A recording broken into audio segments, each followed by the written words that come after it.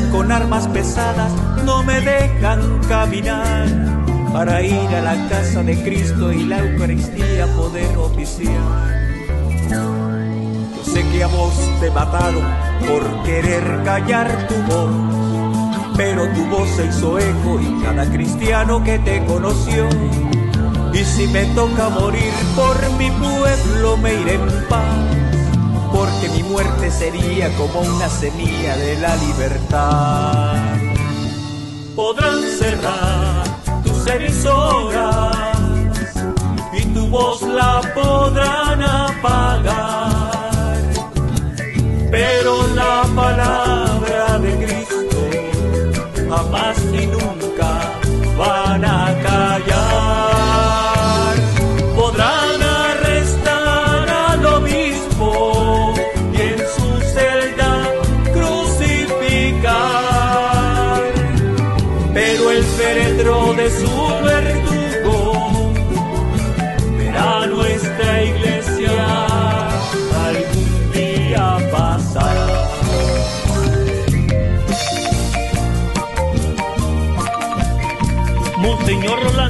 José Álvarez, tu pueblo está con vos.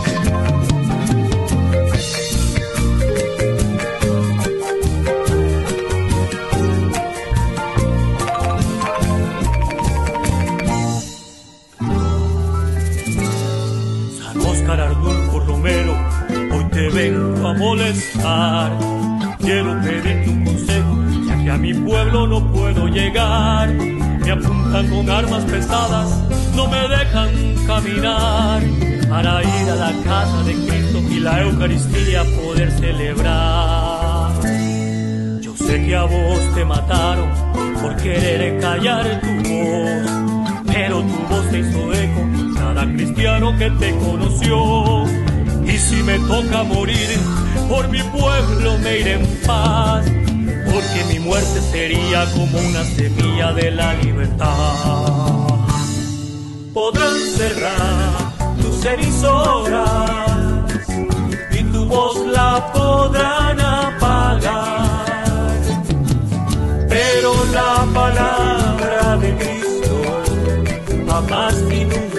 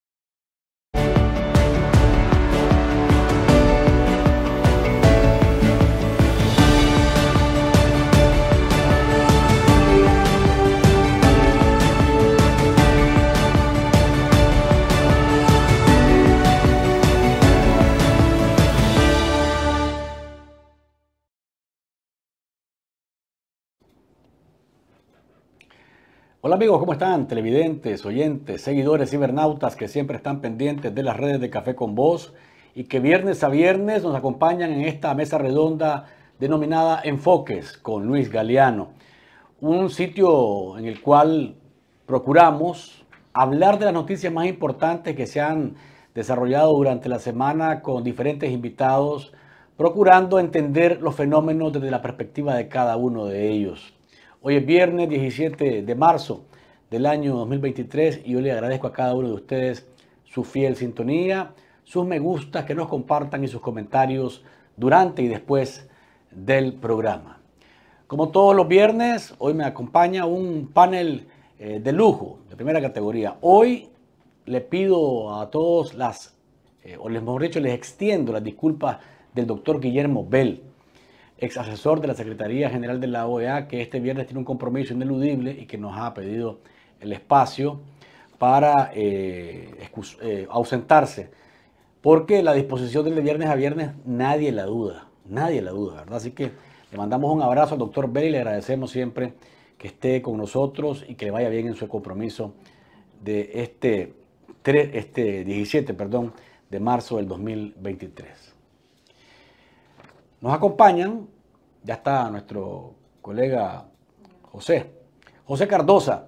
Él es, es eh, periodista de Café con Voz, se encarga de hacer los trabajos informativo diario y le hemos dado el espacio para que, como la vez pasada, como decimos, estos muchachos se vayan metiendo en, la calistenia, se vayan metiendo en la calistenia y, eh, ustedes tengan la posibilidad de escuchar cómo ven la situación de las noticias de la semana eh, en un programa como hoy. José, qué bueno que puedes acompañarnos nuevamente. Hola, muchas gracias más bien por la invitación. Un gusto estar acá con ustedes, con la familia de Café con vos y con toda la audiencia. Qué bueno, José, que estás con nosotros. Douglas Castro es eh, uno de los rostros que la gente identifica como los rostros de abril del 2018. Eh, estudiante en aquel momento, ahora ya profesional, eh, y uno de los muchachos que, que mejores argumentos presenta al momento de plantear la visión de los jóvenes en relación al presente y al futuro de Nicaragua. Douglas, qué bien que estás con nosotros, bienvenido. Muchas gracias Luis, es un honor para mí estar en este programa y sobre todo también poder intercambiar con Peraza, que creo que siempre cuando está él es garantía de que el debate, la reflexión y la discusión política es álgida y es real. Solo una acotación, yo no era estudiante, pues, pero no era delincuente, como decía la, la consigna.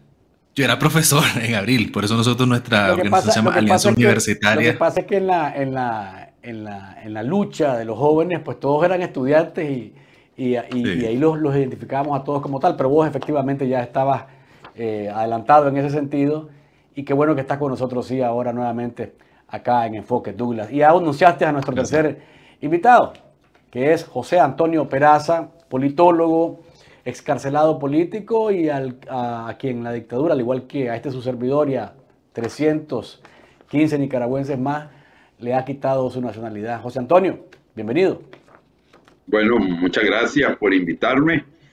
Eh, Douglas me invitaba a un programa que a mí siempre me gustó, que él hacía en la, radio universitaria que se llamaba De Criterio. Ahí había un muchacho chileno que ahorita no recuerdo cómo se llama, que era, eh, fue muy, mi estudiante y era muy buen estudiante. Y ahí había una dupla o tripla, porque no sé cómo se dice, que hacían buenas entrevistas. Eh, eh, a mí siempre me ha gustado el debate inteligente.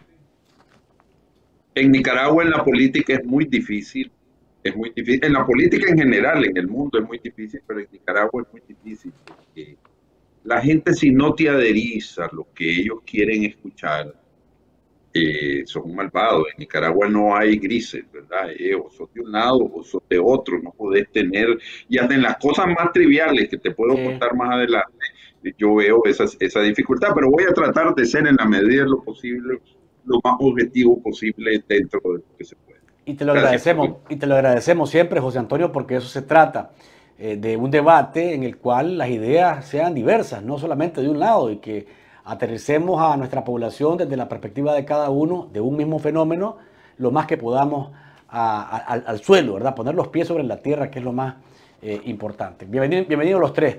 Arranquemos eh, nuestra conversación, José Antonio, Douglas y José, con algo que ha, sido, que ha seguido siendo noticia, el tema de la decisión de la dictadura de suspender, y pongo entre comillas este, este término, suspender relaciones con el Vaticano, porque en el programa de la semana pasada teníamos ya lo que dijo el Papa, la reacción de la dictadura fue hasta el domingo, pero no ha dejado de ser noticia.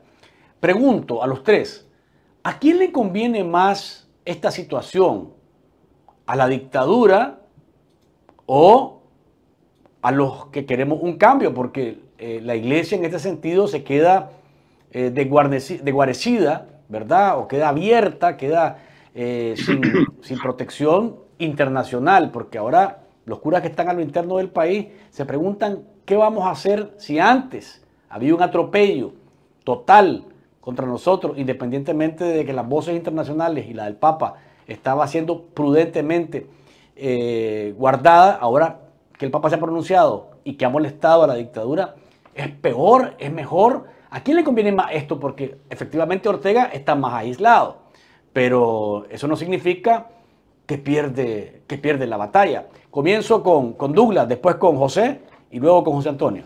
Douglas. Bueno, sobre temas de conveniencia, creo que la estrategia de la dictadura es siempre, ellos están apostando a manejarse como parias internacionales y con unas alianzas reducidas a China, Rusia, Cuba y Venezuela y otros países parias como Eritrea, Siria, Corea del Norte. Miremos cómo vota en la ONU, miremos quiénes los apoyan, con quiénes establecen relaciones pero yo creo que también beneficia a la lucha porque queda a toda luz de que la dictadura de Nicaragua solo es comparable con regímenes como dijo el Papa, nazi, comunista, que es una dictadura guaranga. Entonces, en ese sentido, hay unas voces más contundentes rechazando la dictadura de Nicaragua. Efectivamente, siempre hay un riesgo, pero creo que es parte de la tendencia y los pasos lógicos que esta dictadura está llevando a cabo. ¿Cuál es el siguiente paso lógico?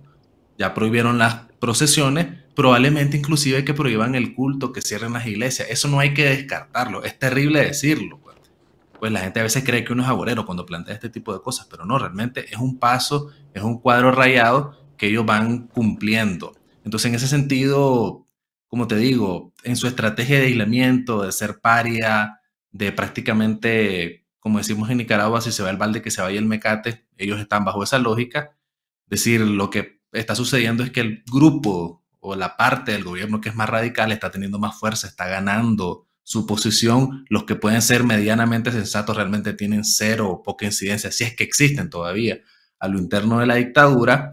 Pero eso, por otro lado, vuelvo a repetir, refleja que en Nicaragua lo que sucede es anómalo. No es como dice Dante Mossi, pues que prácticamente las violaciones que pasan en Nicaragua es similar a los desastres naturales que suceden en el resto de Centroamérica, nada que ver, es decir, lo de Nicaragua es atípico, es extraordinario y no por nada es una de las crisis más dramáticas que hay actualmente en América Latina e inclusive en el mundo.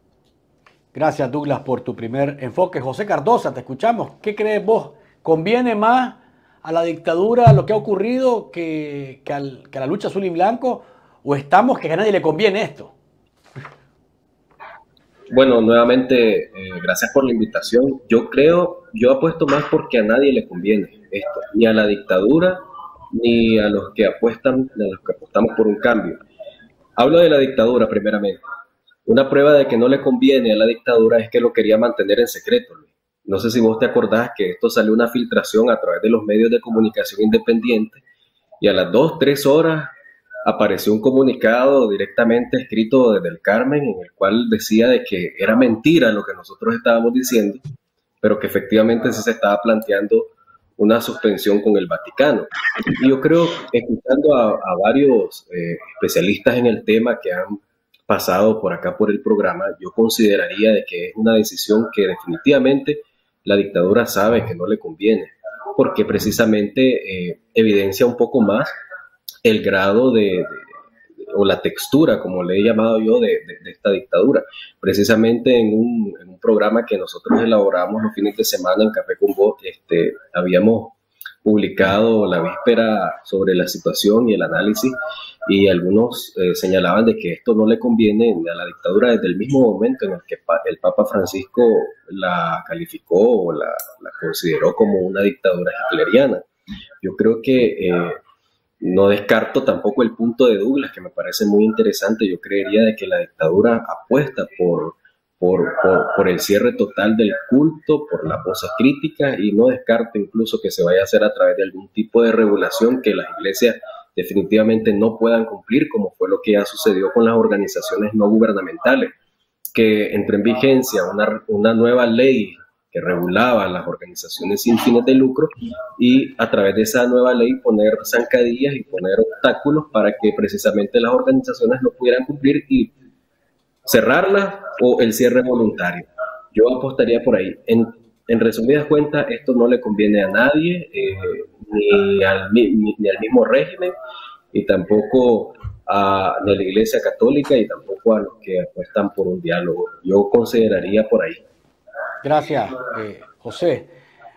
Peraza, eh, solamente para hacer un puente y darte la palabra. Escuchaba una entrevista que le brindó Francisco Bautista Lara, que fue, eh, bueno, fue guardia sandinista, eh, fue embajador del régimen eh, ante el Vaticano, y él decía que no existe una ruptura, sino una suspensión, y que en la suspensión de relaciones planteada, siempre hay un diálogo subterráneo en el que van a buscar cómo la Santa Sede hable con el Papa, es decir, hablar con todos, con, la Santa Sede, no sé con quién van a hablar, si con el Papa o con el, con el canciller que hace de canciller de la Santa Sede, para decirle que, lo dicho por el Papa está desproporcionado, está fuera de lugar desde la perspectiva de la diplomacia y que van a buscar cómo llegar al punto en el que se respete la soberanía, la autodeterminación y el derecho de Nicaragua de tener eh, dentro de su territorio el sistema político que mejor le parezca. Te escucho, solo hago esta esta acotación o hago este, eh, agrego esto a la, a la plática porque creo que es importante la visión que tiene la dictadura o un representante de la dictadura alrededor de esto. Bueno, son tantas cosas las que están planteadas ya en tan poco tiempo que voy a tratar de irlas. Cuando yo escuché las declaraciones de Bautista y son lamentables. Lamentable porque es un hombre, evidentemente es un hombre inteligente. Y él sabe que lo que está diciendo es una gran falsedad, porque no puede ser que le digan al Papa que sea respetuoso después de los llamados públicos que ha hecho Ortega contra la Iglesia Católica, contra los eh, digamos, eh, la autoridad papal, que no es solo en Roma, sino es en el mundo. Eh, es como querer poner, como cuando alguien, yo tengo un amigo que me dice, bueno, es que en el 18 de abril hubo muertos de los dos lados. No, sí hubo muertos de los dos lados, pero no puedes ponerlos en la misma perspectiva. ¿Verdad? Primero porque policía fueron 22 muertos, del otro lado ya van más de 300 de los que se tiene registro. Y además de eso, eh, las diferencias de poder y de, fuego eran totalmente disímiles, por lo tanto no pueden ser equiparadas. Entonces hay que tener cuidado cuando se hacen esa, eh, esas comparaciones entre pera y, banano, porque no, no, es lo correcto. Entonces lo que está haciendo es una justificación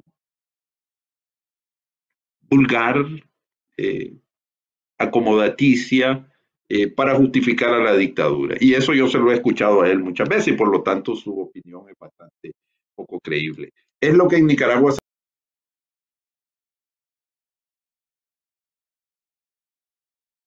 congelada de José Antonio Peraza. José Antonio, creo que te entró una llamada, seguramente eso fue lo que pasó. No sé, algo pasó, pero estoy en la computadora, no sé dónde me quedé. Entonces, eh, eh, es una manera de acomodar las cosas y que en Nicaragua se considera muy inteligente. Eso no es. Eso lo que significa es que tenés que acomodar tu discurso para no sentir el, el flagelo del poder y por lo tanto te acomodas. Si nos conviene o no nos conviene, yo lo que creo es que el país, o por lo menos el régimen, ya no tiene una visión estratégica. Simplemente reacciona. Sabe que a nivel internacional está, está fuera, se le considera un gobierno troglodita, atrasado, la expresión, digamos, de, un fósil, la expresión de una persona que ve el, poder como se veía en los años 70 del siglo pasado y que por lo tanto de ahí no va a salir nada malo, nada bueno, perdón. Ahora, los países tienen círculo y los seres humanos tenemos círculos virtuosos y tenemos círculos viciosos. Nicaragua y Ortega está en este momento nuevamente en el círculo vicioso, ¿no? repitiendo lo mismo, haciendo lo mismo, llamando a todo el que les cuestione, digamos, porque en el fondo, ¿cuál es el problema? No, no, no, y con esto voy terminando. ¿Cuál es el problema central del problema? Valga la redundancia. Ortega no quiere enfrentar elecciones porque sabe que no las puede ganar. Y él quiere permanecer en el poder y no solo quiere permanecer hasta que se muera, sino que se lo quiere trasladar a su familia. Esa visión que algunos sandinistas consideran que es una gran genialidad, no sé cuál es la genialidad, si eso ha producido miles de muertos en Nicaragua, y por lo tanto la tienen, ese círculo vicioso que se repite una y otra vez, tenemos que ver cómo la superamos. No por Ortega, por Ortega es intrascendente, es por nosotros que tenemos que resolver ese problema de otra manera, De otra manera, sin tomar, perdón, sin evitar discutir el tema que Ortega no se quiere ir y como sabe que no hay posibilidades en este momento de usar la violencia en contra de eso lo pone eufórico de que aquí me voy a morir en el poder. Hay que tener mucho cuidado con eso, con Nicaragua, pues Nicaragua es un país bien complicado, su historia política lo demuestra. Y él sabe que si él va a unas elecciones las va a perder. Y por lo tanto, él sabe que él quiere asegurarse el poder hasta que muera. Entonces ahí hay una contradicción tremenda que vamos a ver cómo la resolvemos de la mejor manera. Gracias, eh, José Antonio, por tu primer enfoque en este tema. Seguimos con el mismo tema porque creo que es importante visionar que sigue entonces, porque la dictadura apuesta a que la Santa Sede acepte que no se pueden meter con ellos, porque eso es lo que es el planteamiento de Francisco Bautista Lara. La soberanía y la autodeterminación implica no se metan con nosotros. Es más, Ortega está en la línea de reprimir a lo interno y tratar de silenciar absolutamente cualquier voz de cualquier sacerdote, por muy pequeño que sea, por muy invisible que sea, pero si es crítico, va a ir sobre él. ¿Qué sigue? ¿Para dónde vamos? Porque eh, en las iglesias entonces se va a leer nada más el Evangelio del día, la lectura del día, y no va a haber ninguna reflexión de los sacerdotes sobre esa homilía en la vida del país, que es lo que tiene que hacer un pastor, reflexionar, comentar, tratar de decirle a la gente cómo ese texto escrito hace tanto tiempo tiene que ver con nuestra realidad de hoy. Eso es más o menos lo que hace un, sacerdote eh, semana a semana en una homilía. ¿Hacia dónde vamos? Hacia el, hacia el silencio de los de los altares. Douglas. Hay dos caminos, Luis. Ese, es un debate viejo, pues, en la Iglesia Católica. Recuerdo que en los años 70, 80, cuando he leído sobre ese tema, siempre se hablaba el camino de la Iglesia de la República Checa, la Iglesia Checa o el camino de la Iglesia Polaca. Es decir, una iglesia que se acomoda al, al régimen comunista en esa época o una iglesia que lo confrontaba. Y cuando hablamos de confrontar no es con la violencia, nada por el estilo, sino resistir y tener una posición independiente. Nuestra tradición nos dice que la iglesia ha optado por el camino polaco, es decir, resistir, ser independiente, ser crítica. Entonces yo creo de que nosotros tenemos que tener en cuenta que la pretensión de la dictadura, y no es descabellado decirlo, es inclusive que ellos nombren los obispos, que ellos nombren quién va a ser sacerdote. Esa es la pretensión del totalitarismo, y eso no hay que dejarlo de ningún lado. Sin embargo, yo confío en que la Iglesia Católica Nicaragüense va a luchar por mantener esa independencia y por evitar que ese espacio sea totalmente controlado por la dictadura, aunque no me cabe ninguna duda de que ellos van a seguir en esa lógica de cortar cualquier espacio que no esté controlado por el feminismo en Nicaragua. ¿Eso a qué nos va a llevar? Yo creo que lo que dijo el Papa Francisco, eso no tiene vuelta atrás en el sentido de que eso está, ha motivado al resto de las conferencias episcopales a tener un discurso más fuerte. Recuerdo que en una entrevista con Joaquín López Dóriga, el presidente de la Conferencia Episcopal Mexicana dijo, la orientación del Papa es que seamos más claros, a que hablemos claro, y es por eso que nosotros estamos escuchando ese discurso tan fuerte en toda la Iglesia Universal. Entonces creo de que efectivamente la dictadura pretende condicionar a que el Vaticano y que la Iglesia en general no la critique, que no hable en Nicaragua, pero eso yo lo veo imposible, veo todo lo contrario, inclusive cuando escucho a personas de la diócesis de Danlí, que está cerca de, de mi pueblo, de Ocotal, en Honduras, que están teniendo una posición, están siendo la voz de la Iglesia Católica en Nicaragua. Lamentablemente, efectivamente, uno ve que en la Iglesia casi no hay una voz crítica del, alto prelado, uno esperaría de que hubiera más que hubiera más fuerza, que no solo sean las otras conferencias episcopales las que se manifiestan, pero la iglesia al unísono está resistiendo y está teniendo una posición independiente y eso hay que aplaudirlo. La respuesta a la dictadura creo que no tenemos que ser ingenuos, es seguir tratando de controlar y cerrar todos los espacios. Eh, José Cardosa, el, planteamiento de Douglas eh, plantea una resistencia, sin embargo, a lo interno de, Nicaragua, la, máxima figura de la iglesia, el cardenal Leopoldo Brenes, se le preguntó sobre lo del Papa y sus declaraciones fueron, yo diría, hasta incomprensibles, porque el Papa no dijo nada de lo que él plantea al momento de responder preguntas de los periodistas sobre lo que, eh, lo que señaló el alto jerarca de la iglesia a nivel mundial. Eso significa tratar de capear el vendaval cuando se traten de preguntas complicadas y posiciones de la iglesia más firmes. Y lo otro es que a lo interno la represión se puede incrementar y estamos, señor Álvarez desaparecido, que es una ficha eh, que la dictadura hasta ahora está utilizando también como una especie de chantaje, me parece igual siempre, como ficha de, de cambio para tratar de presionar más en sus posiciones. Te escucho. Bueno, viendo las declaraciones del cardenal Brenes, incluso hasta podría llegar a pensar que en ese momento, a lo mejor, tal vez no, no había, no se había informado sobre las declaraciones del Papa Francisco porque aparecieron. ¿Es en serio que no se había informado? Yo, yo, yo tengo mis dudas. Podría ser, o sea, me hace pensar. José Cardosa, te lo digo, de verdad que me parece que eso fue una, una entrevista que le hicieron el domingo la entrevista del Papa se había publicado dos días, tres días antes y, había sido de resonancia mundial. No, sé, pues, estar desinformado me parece a mí darle un, espacio de duda demasiado amplio al, cardenal Brenner.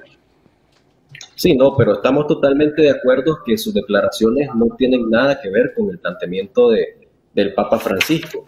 Y yo, yo coincido con la postura de Douglas de que eh, a lo mejor la iglesia va a seguir resistiendo este, y va, no, evidentemente no se va a, acoplar, digamos, a, lo que ha planteado el Frente Sandinista, que quiere incluso hasta tener un control sobre eh, decidir quién es obispo y quién es sacerdote. Sin embargo, no hay que obviar, ¿verdad?, que hay, hay algunos religiosos que en este momento han mostrado ese, ese plano más cercano al Frente Sandinista. Y esto es lo que a mí realmente me preocupa. Por ejemplo, el caso del obispo de León Hace poco se publicó una, una información sobre que los eh, colegas periodistas de León estaban haciendo unos reclamos al, al, obispo de esa diócesis debido a que, pues precisamente lo que está intentando hacer, según el planteamiento de estos colegas, es desmantelar la red eh, mediática de la Iglesia Católica en esa diócesis. Eso sí me preocupa y, e incluso fíjate que eso me, lleva a pensar de que hay ciertas diferencias ahorita que se están acrecentando dentro de la iglesia. Yo no te puedo decir eh, a ciencia cierta, no logro, digamos, visionar cuál puede ser el camino que vaya a tomar la, la, iglesia católica en este rumbo, pero sí, lo que sí puedo resaltar es que veo esa fisura. En el caso del obispo precisamente de León, donde está mostrando su lado más amable con el Frente Sandinista. Es lo que yo puedo percibir hasta el momento. Gracias, José. José Antonio Peraza, te escuchamos. Mira, eh, yo recuerdo viendo la conferencia de Yalta cuando se reunieron los tres grandes, Churchill, eh, Stalin y Roosevelt. No sé si fue Roosevelt el que le dijo o fue Churchill, uno de los dos, no recuerdo. Le dijo a Stalin que Camarada Stalin, ¿por qué no mejora sus relaciones con el Papa, dado que vamos a terminar con el nazismo? Y Stalin, que tenía ese ácido de que era el, que, dirigía realmente la guerra en contra de la Alemania nazi, preguntó de manera sarcástica, ¿cuántas divisiones tiene el Papa? Como diciendo, pues, poder real de golpear al nazismo no tiene ninguno. Sin embargo, Stalin pues trató de mejorar un poco las relaciones con el Papa. Eso pasa con la iglesia, no tiene un poder real, pero sí de golpear, de reprimir, pero sí tiene un poder simbólico que un pueblo de Nicaragua. Por lo tanto, estar en problema con la iglesia, y si es el poder de turno el que esté en problema con la iglesia, es un problema, por más que lo querrás disfrazar. ¿Por qué? Porque la mayoría del pueblo de Nicaragua es católico, y si no es la mayoría el que es católico, muchos que ya no son católicos, de alguna manera han crecido, han vivido o han tenido o tienen familiares que son católicos y por lo tanto, eh, en la historia de Nicaragua durante 500 años la Iglesia Católica siempre ha estado presente y seguirá estando presente, por lo menos, por lo menos un siglo más o más, no sabemos. Entonces, ¿cuál es el gran problema que se le plantea a la dictadura? Ellos no quieren ninguna crítica pero ellos lo que quieren es que la Iglesia Católica se acomode a ellos y la Iglesia Católica no se va a acomodar a ellos, pero tampoco la Iglesia Católica, y aquí viene una crítica a la clase política. Ahí nosotros queremos que los sacerdotes, que el cardenal, le salga a resolver el problema a los políticos. No es así. el hecho de que hay una incapacidad, digamos, de las élites políticas y económicas de Nicaragua de resolver los problemas, no significa que se los va a ir a tirar a la Iglesia Católica, porque entonces se le puede hacer la misma pregunta, ¿cuántas divisiones tiene el cardenal Brene? Ninguna. Entonces, ¿cuál es lo que pasa? Que ante la incapacidad o imposibilidad, por lo que sea, por la represión, por la división, por lo que sea, de tener una respuesta ante Ortega, entonces ahora queremos que la Iglesia Católica resuelva el problema político de Nicaragua. Yo creo que hay que tener cuidado con eso. Yo estoy claro de que la Iglesia tiene que ser clara y ver el problema que está viviendo, porque está sufriendo la represión. Este es un problema político que no podemos resolver. Los nicaragüenses muchas veces en nuestra historia llegamos a un... No te interrumpa, José Antonio, pero creo que antes que termines tu, tu planteamiento, solamente para agregar algo eh, que me parece que es muy importante, no es la iglesia la que se metió con Ortega, es Ortega el que tiene un problema contra la iglesia. O sea, al margen del problema político que tenemos, Ortega tiene una fijación, odia, detesta a la iglesia católica y no de ahora, de antes. Me parece a mí que, que, no podemos perder de vista eso. Entendeme, Luis, entendeme, Luis, la iglesia va a tener, a ver, me voy a poner yo como político. Yo tengo que decir algo contra Ortega si yo soy político. Porque yo he escogido ese camino. Un padre de familia puede decir, tiene su opinión interna, pero va a decir, yo no la voy a expresar.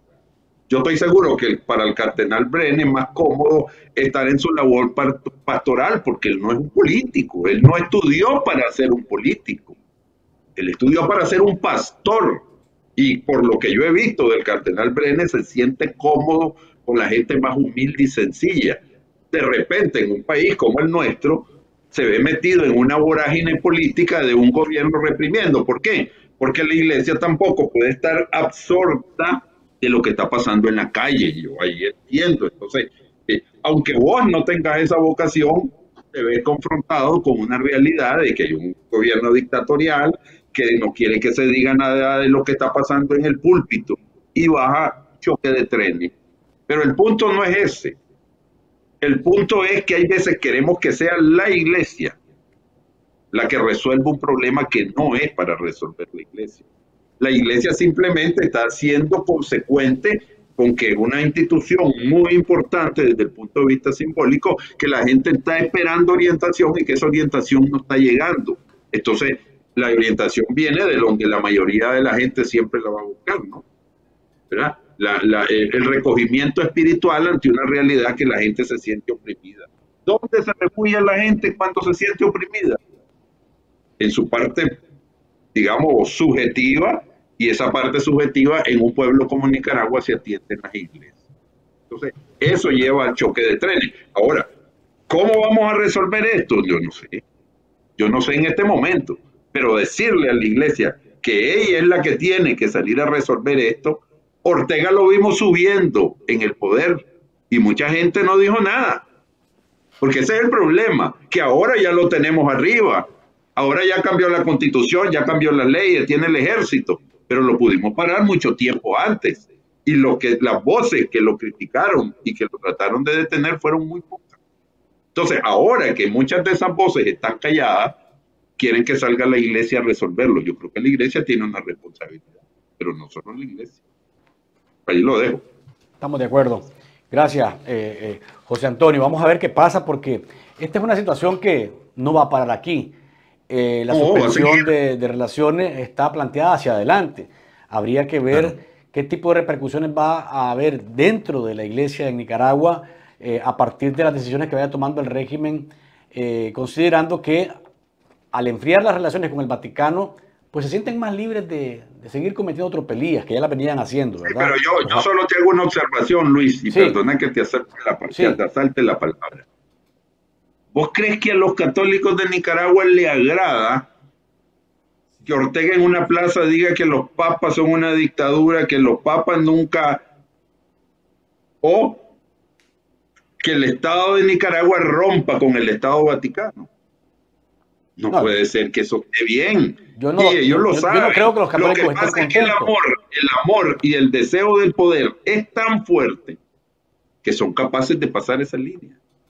Ahí lo dejo. Son capaces de pasar toda línea. Ya, ya eso no ha... No ha ya, ya las ha pasado casi todas. la pregunta que yo me hago, José Antonio... ¿ah?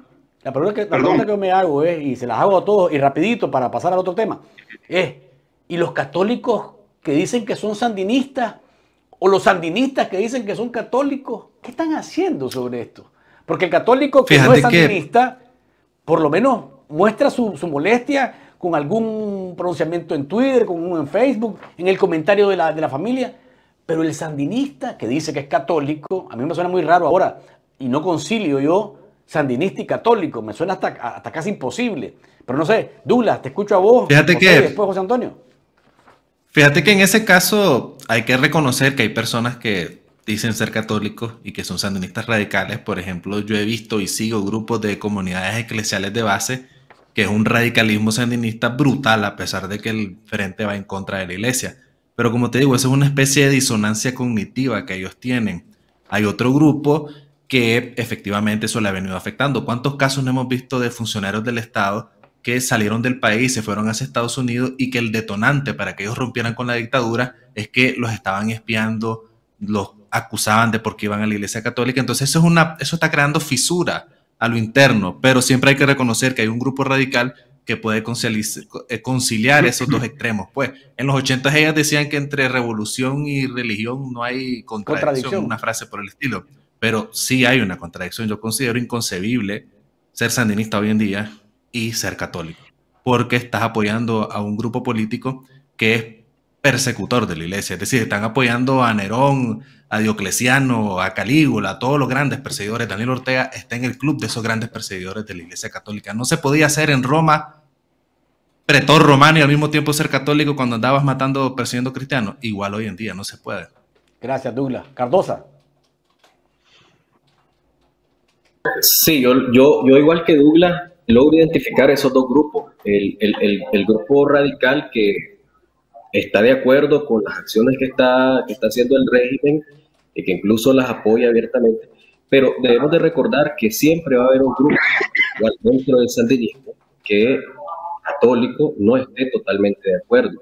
Y yo coincido de que es precisamente eh, eh, funcionarios públicos que están buscando cómo salir del país y aunque no lo vemos, pues evidentemente porque es una situación, expresar cualquier tipo de, comentario u opinión eh, que no vaya de acuerdo a la línea que, el régimen ha establecido, entonces ya se convierte en una crítica fuerte y, esto este, hace mérito a, sanciones por parte del régimen, despido, encarcelamiento, etcétera. Entonces, mucha gente, te lo digo por, por conocimiento de causa, que conozco a algunas personas que eh, trabajan para el Estado, que son católicos, que son muy devotos, desde antes del 2018, que son muy devotos y que continuaron asistiendo a, los templos religiosos en medio de la crisis, del estallido de la crisis sociopolítica, incluso se acercaban más, que me han comentado, evidentemente, que no están de acuerdo, pero que no pueden hacer ningún tipo de comentario al respecto o crítica pública, porque inmediatamente tienen al secretario político de, de la institución donde, donde laboran o al jefe inmediato, vigilándole las redes sociales o vigilándole eh, cualquier tipo de comunicación que tenga. Evidentemente lo que está produciendo esto, Luis, es incrementar la migración. José Antonio, Peraza. Eh, mira.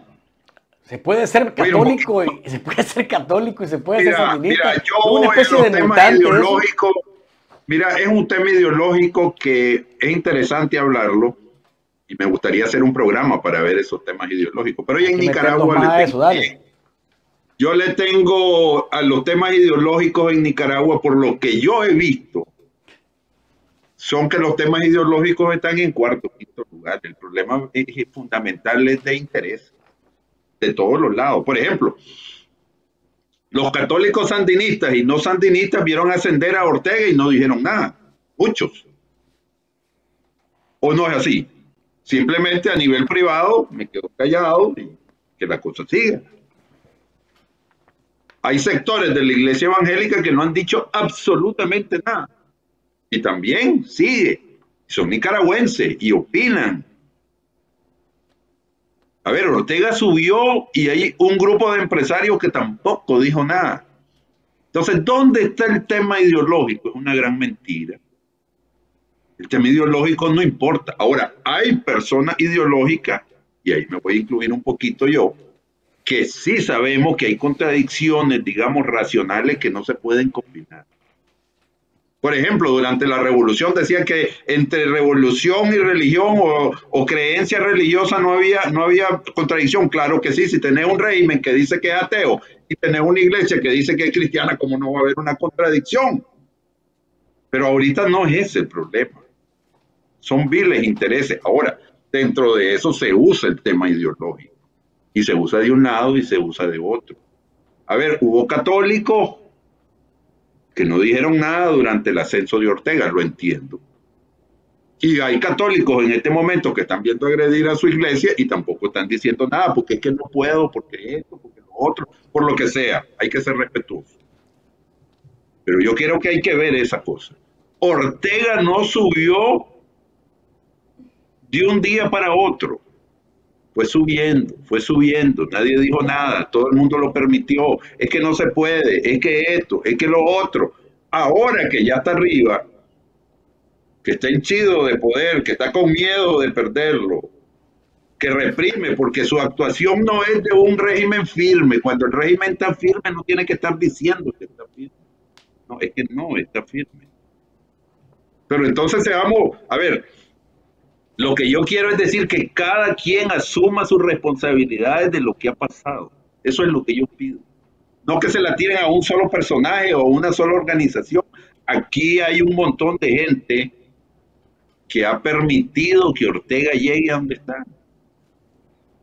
Eso es lo que yo quiero que reflexionemos, porque ahora tenemos el monstruo arriba. Decía Carlos Alberto Montaner en un artículo que escribió hace como 25 años, decía, al monstruo hay que matarlo chiquito, porque cuando ya está grande, se destruye. La sociedad nicaragüense es permisiva a los dictadores, por miedo, por conveniencia, por lo que sea, es permisiva a los dictadores. ¿verdad? Entonces, después no podemos venir a pedirle a un solo grupo que resuelva el problema. Si lo hemos construido, no entre todos, porque, digamos, en esa en ese grupo de accionistas hay unos que tienen 2.000 acciones y hay otros que tenemos una en la responsabilidad de que Ortega. Yo sé que los que estamos aquí tenemos muy pocas responsabilidades, pero hay un montón de gente y que todavía siguen ahí, le hacen una cosa, a ver, busquemos el asunto. Tampoco es que estoy pidiendo ser radical y pedir que no quede piedra sobre piedra porque hay que hacer algo nuevo porque nada de lo que tenemos sirve. Esa es, esa es otra locura. Esa es otra locura. Pero aquí hay un montón de gente que es responsable, que Ortega y ahí. Y ahora muchos de ellos se fueron del país. Ah, y que ahora la Iglesia Católica vaya a resolver todo el problema en Nicaragua. No, no es así. Le estamos entregando o lo estamos haciendo responsable de algo en el cual estamos involucrados o deberíamos estar involucrados todos. Yo lo único que estoy siendo aquí es una voz crítica en el sentido de que es fácil echarle la culpa a un solo grupo o a una sola persona. Aquí hay mucha gente que ha colaborado con la dictadura, que se le advirtió durante meses y años que íbamos mal y nunca corrigió nada. Y hoy de repente los ve saltando al otro lado y que yo, o sea, yo entiendo que todos nos equivocamos, porque yo me he equivocado también. Pero hay gente que tenemos una visión clara de que era Ortega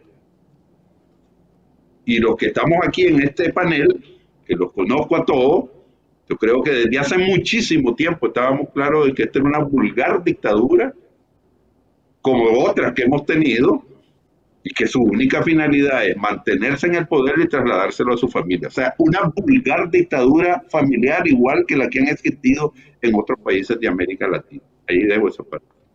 Dictadura guaranga, como le llamó guaranga, tenemos ahora el término argentino el Papa Francisco. Voy a hacer una pausa comercial, Douglas, José Antonio, José de Cardosa, y vuelvo con los otros temas que han hecho noticia. Este le dimos más espacio porque lógicamente es eh, algo que está ahí y que está en, la lengua, en la mente del nicaragüense porque tiene que ver con, con su propio yo, con su creencia, con su fe, con su religión y cómo Ortega avanza también en el atropello de todo lo que está a la vista y que significa un peligro para él yo coincido con José Antonio, no podemos dejar que la iglesia sea ahora eh, crucificada como, el, como la responsable. Ortega lo que ha hecho es poner a todo el sector que le parece a él opositor y peligroso en un mismo renglón, sin respetar a nadie. Y eso es, creo, lo que está haciendo en este último espacio, que es eh, eh, decirle a todo el mundo, un Cristo crucificado a mí me parece que tampoco me va, me va a detener. A esta señora que tengo al lado, pregúntenle por esas cosas. Esa lucha es más de ella que mía. Lo mío es más terrenal. Ella es más espiritual. Y vamos contra todos. Y contra todos y de verdad. Pausa comercial. Y volvemos con eh, más acá en Enfoques. Gracias a ustedes que están con nosotros. Quédense por ahí porque el programa se va a poner cada vez mejor.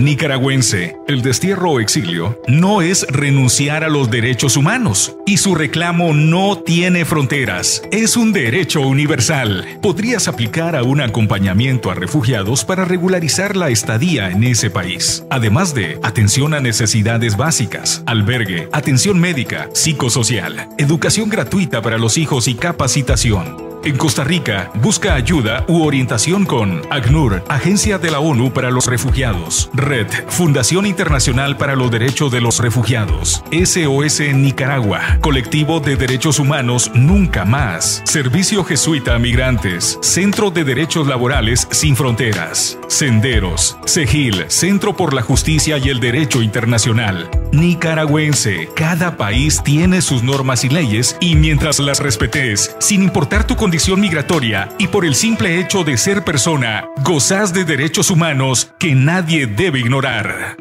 Este año marcas un nuevo inicio con el internet más rápido del país y con tu plan postpago sin límites tenés más conectividad, más música, más entretenimiento, más app de ubicación y redes sociales ilimitadas con smartphone incluido sin prima, Xiaomi Redmi 10 con renta mensual de 25.99 dólares, Samsung A03 Cord con renta mensual de 19.99 dólares. Contratalo en tu centro de atención al cliente más cercano.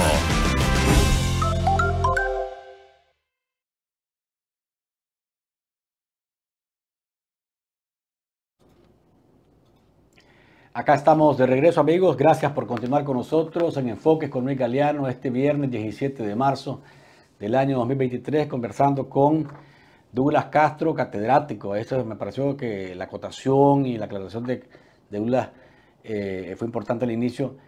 joven catedrático, además eh, miembro de la Alianza Universitaria Nicaragüense. José Cardosa, que es periodista de nuestro equipo de Café con Voz y José Antonio Peraza, politólogo, excarcelado y desterrado por la dictadura el pasado 9 de febrero. Los siguientes temas eh, que vamos a tocar tienen que ver con propiedad privada, tienen que ver con respeto al consumidor, tienen que ver con el respeto a la nacionalidad también y eh, tienen que ver con bancos y financiamiento, entre otros, ¿verdad? Amigos, eh, Douglas, José, eh, Antonio José Cardosa, ha seguido la piñata de la dictadura con bienes de los desterrados y en esta semana se conoció el congelamiento de varias cuentas. Aquí el tema es, y gente que se pregunta, bueno, y ahí, eh, y estos desterrados no sabían que le iban a cerrar las cuentas. El tema es que los bancos no están notificando, ¿verdad?, esta acción y esto ha generado una nueva molestia, lógicamente, en eh, quienes mm, hemos sido despojados de nuestra eh, nacionalidad por eh, el tándem siniestro Ortega y Murillo. Ahora comienzo al revés, comienzo con José Antonio, voy con Douglas y termino con José. José Antonio. A ver, y no quiero parecer yo justificando cosas, porque yo no hago eso. ¿Qué le queda a los bancos?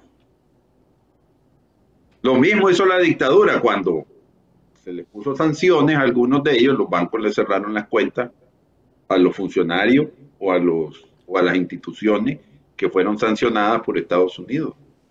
¿Qué le queda a los bancos? El problema no son los bancos, es que volvemos, yo creo que aquí nos equivocamos en el asunto. ¿Qué va a decir el banco? No, no le voy a cerrar la cuenta. Entonces van a cerrar el banco. Ahora, eso es digno, eso es, puede ser, pero yo no veo a un banquero haciendo eso. Entonces, ¿quién es el responsable? ¿verdad? el apasionamiento político nuestro siempre nos ha llevado a problemas. Y yo no estoy defendiendo a los bancos, en lo más mínimo. Pero yo sé que varios bancos tuvieron problemas cuando tuvieron que cerrarle las cuentas a las personas que habían sido sancionados por Estados Unidos. Entonces, ¿qué va a hacer el banco? Si, a ver, si la ley dice, nosotros sabemos que en Nicaragua la ley no vale absolutamente nada, pero los bancos están regidos por una ley. Y si aunque es una locura, ¿qué va a decir el banco? No, no le voy a cerrar la, cuenta a José Antonio Peraza, mis cuentas están bloqueadas. ¿Y qué van a hacer? ¿Verdad? Esperar que llegue la represión y, cierre el banco.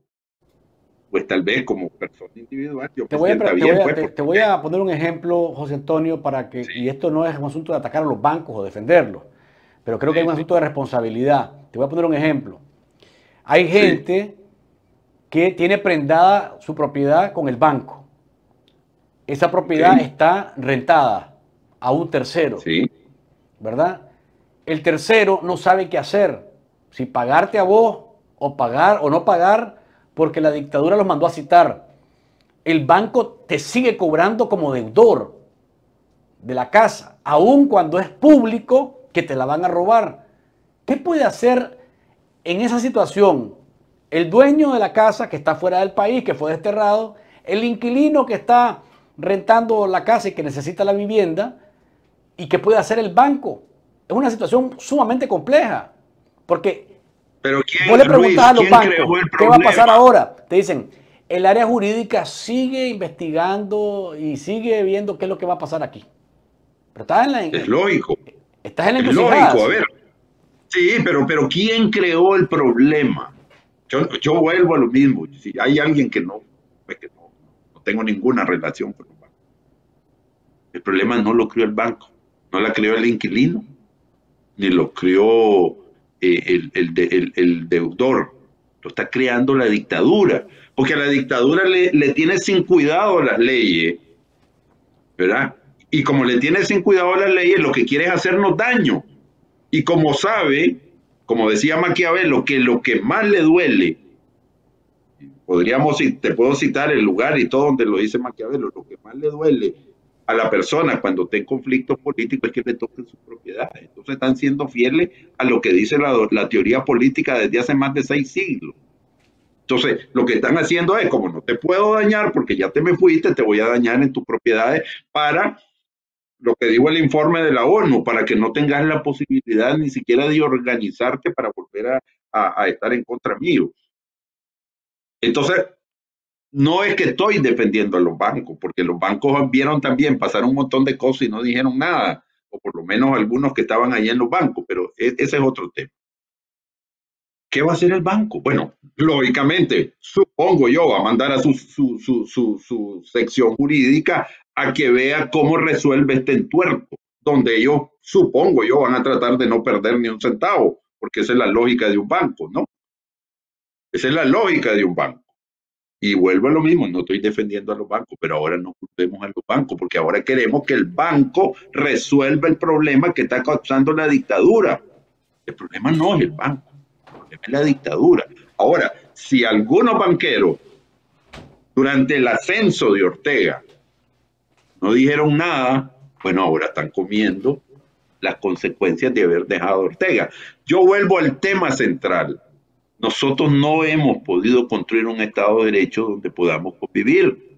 Entonces, cuando se presentan estas locuras que estamos viviendo, queremos que las resuelva alguien en No puede ser. Yo estoy seguro aunque a mí me duela, que ningún banco donde yo tengo, tuve una cuenta se va a pelear con el gobierno por mi cuenta. Solo estoy tratando de ser... Eh, entonces, no se va a ir a pelear no sé quién, ni el BAC, ni el PAMPRO, ni el BDF, ni sé quién es más, ¿verdad? Porque el gobierno le está diciendo que le cierre tres, cuatro cuentas. Entonces, no es defensa del banco. El problema no está en el banco ni en la persona que alquiló la casa. Yo tengo una amiga que tiene su casa y se la dejó a una persona que trabaja en un colegio internacional. Y le dice a la persona, ya me voy, entonces ya le dice, no te vayas porque entonces van a llegar y me van a saquear todo lo que quedó ahí. Pero tampoco vos no le vas a pedir a un extranjero que te alquiló la casa que se inmole ante una dictadura que está haciendo un montón de locura. Lo que nunca debimos haber permitido es que hubiese dictadura. Sí. Eso es lo que yo quiero. Yo quiero que, que hay que ir a raíz del problema. Nunca debimos permitir que hubiese dictadura. Y puedo ir más atrás. Nunca debimos dividirnos para que hubiese y subiese una dictadura. Y podemos seguir más atrás. Pero desgraciadamente no vamos a llegar hasta Adán y Eva. Veamos lo que tenemos que resolver ahora. ¿Está mal lo que está sucediendo? Sí. Pero la dictadura se le da la gana. No nos expatrió. Mirá lo que hizo con nosotros. A las 11 de la noche nos cambió de ropa a las 2 de la mañana nos sacó del chipote. A las 3 de la mañana estábamos enfrente de un avión. Nos dio un pasaporte nuevecito que tenía uno o dos días de haber sido hecho. Y cuando llegamos a Washington ya nos habían dicho que ya no éramos nicaragüenses. Eso demuestra, o sea, que aquí no hay ninguna lógica. Es simplemente yo actúo contra todo aquel que yo considere que es un peligro para mi poder. Esa es la lógica de Nicaragua, no en solo de Nicaragua, pero esa es la lógica de alguien que te dice, yo no me voy a ir de aquí por mi pistola y como puedo hacerle daño a todo el que se oponga a mí, yo lo, yo lo voy a hacer. El problema es cuando venga el medio vuelto, que casi siempre hay en Nicaragua.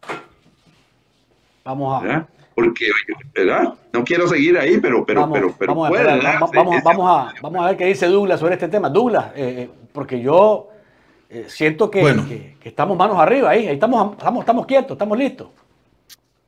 Quiero, el primer punto creo que hay que tener claro es que, no es decir, los culpables de la crisis no son los bancos en su totalidad. Aquí estamos más claro que el agua que el problema es la dictadura, que el problema es político. Eso no es lo que está en discusión. acaban de sacar la noticia que también le cancelaron las cuentas al COSEP y ni le avisaron a nadie. Pues. Aquí hay un punto de fondo, pues que es el otro. Por ejemplo, a mí me pasó también con, con Claro. Pues. Yo tenía mi número, tenía mi plan, me clonaron el número, pusieron una foto paramilitar, hasta me vulgarizó la dictadura, pues. Pusieron un paramilitar en mi, en mi cuenta de WhatsApp y de Telegram. ¿Y, y cómo pasó eso? Es decir, entonces las empresas no, ni te notifican ni te dicen nada, uno puede seguir pagando tenés tu cuenta y hacen lo que quieran. Entonces, en ese sentido, creo que hay mínimas responsabilidades que tan siquiera te notifiquen, que creo que es la principal queja. A nadie le notifican, solo te bloquean y no pasa nada. Y aquí me quiere ir un punto que es más grave. Es como, por ejemplo, las personas que no las dejaron entrar en Nicaragua, no las dejaron embarcar con las líneas aéreas. Ya hay una línea de debate, discusión en los derechos humanos por esta nueva ley que sacó la Unión Europea de empresas y derechos humanos, de que a pesar de que haya dictaduras que restringen derechos, las empresas no pueden no dar información, las empresas no pueden hacerle el trabajo a la dictadura sin rendir ningún tipo de cuenta. Entonces eso va a tener sus consecuencias tarde o temprano. Yo estoy claro que ningún capitalista se va a inmolar y va a poner en riesgo su capital por los derechos humanos de una persona. Eso es su naturaleza, lo que no significa que eso no sea cuestionable y que eso no va a ser debatido y que eso no va a tener impacto reputacional, que eso no va a tener por ejemplo, cuando estos bancos quieran recaudar fondos a nivel internacional de los organismos multilaterales, hay cláusulas de derechos humanos que pueden restringir este tipo de desembolso, que es lo que está en discusión a propósito de todo el debate en torno a Dante, Mossi. Y volvemos a lo mismo. José Antonio, Dante Mossi no es el culpable, no es el causante. Se va a resolver porque el problema es político, eso ya lo sabemos. Pero hay otras discusiones paralelas, que es la que se están dando actualmente, porque la otra discusión es la resolución estructural de la crisis nicaragüense eso estamos claros, pues es política. Y no lo van a resolver los banqueros de Antemosi, el FMI, el Banco Mundial y la Iglesia Católica. Eso estamos clarísimos. Pues. Pero es cuál es la responsabilidad. ¿Por qué hay un foco en torno a este tipo de actores actualmente? Y no solo nacional, sino que es internacional. Si no, miremos lo que pasó en Rusia también con la guerra de Ucrania.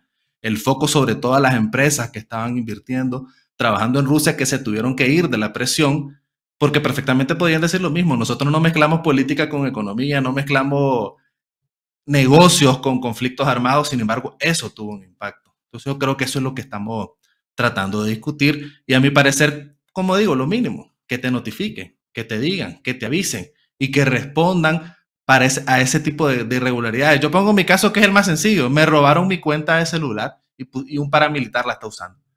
Y yo pagando y teniendo mi cuenta como lo más sencillo, pero hay cosas más graves todavía. Yo te digo, a mí me sorprende muchísimo que a gente que tiene casa eh, eh, como garantía, sabiendo que esa casa está en la línea de robarse del Estado, te siguen diciendo, bueno, mire, y no nos ha pagado la cuota.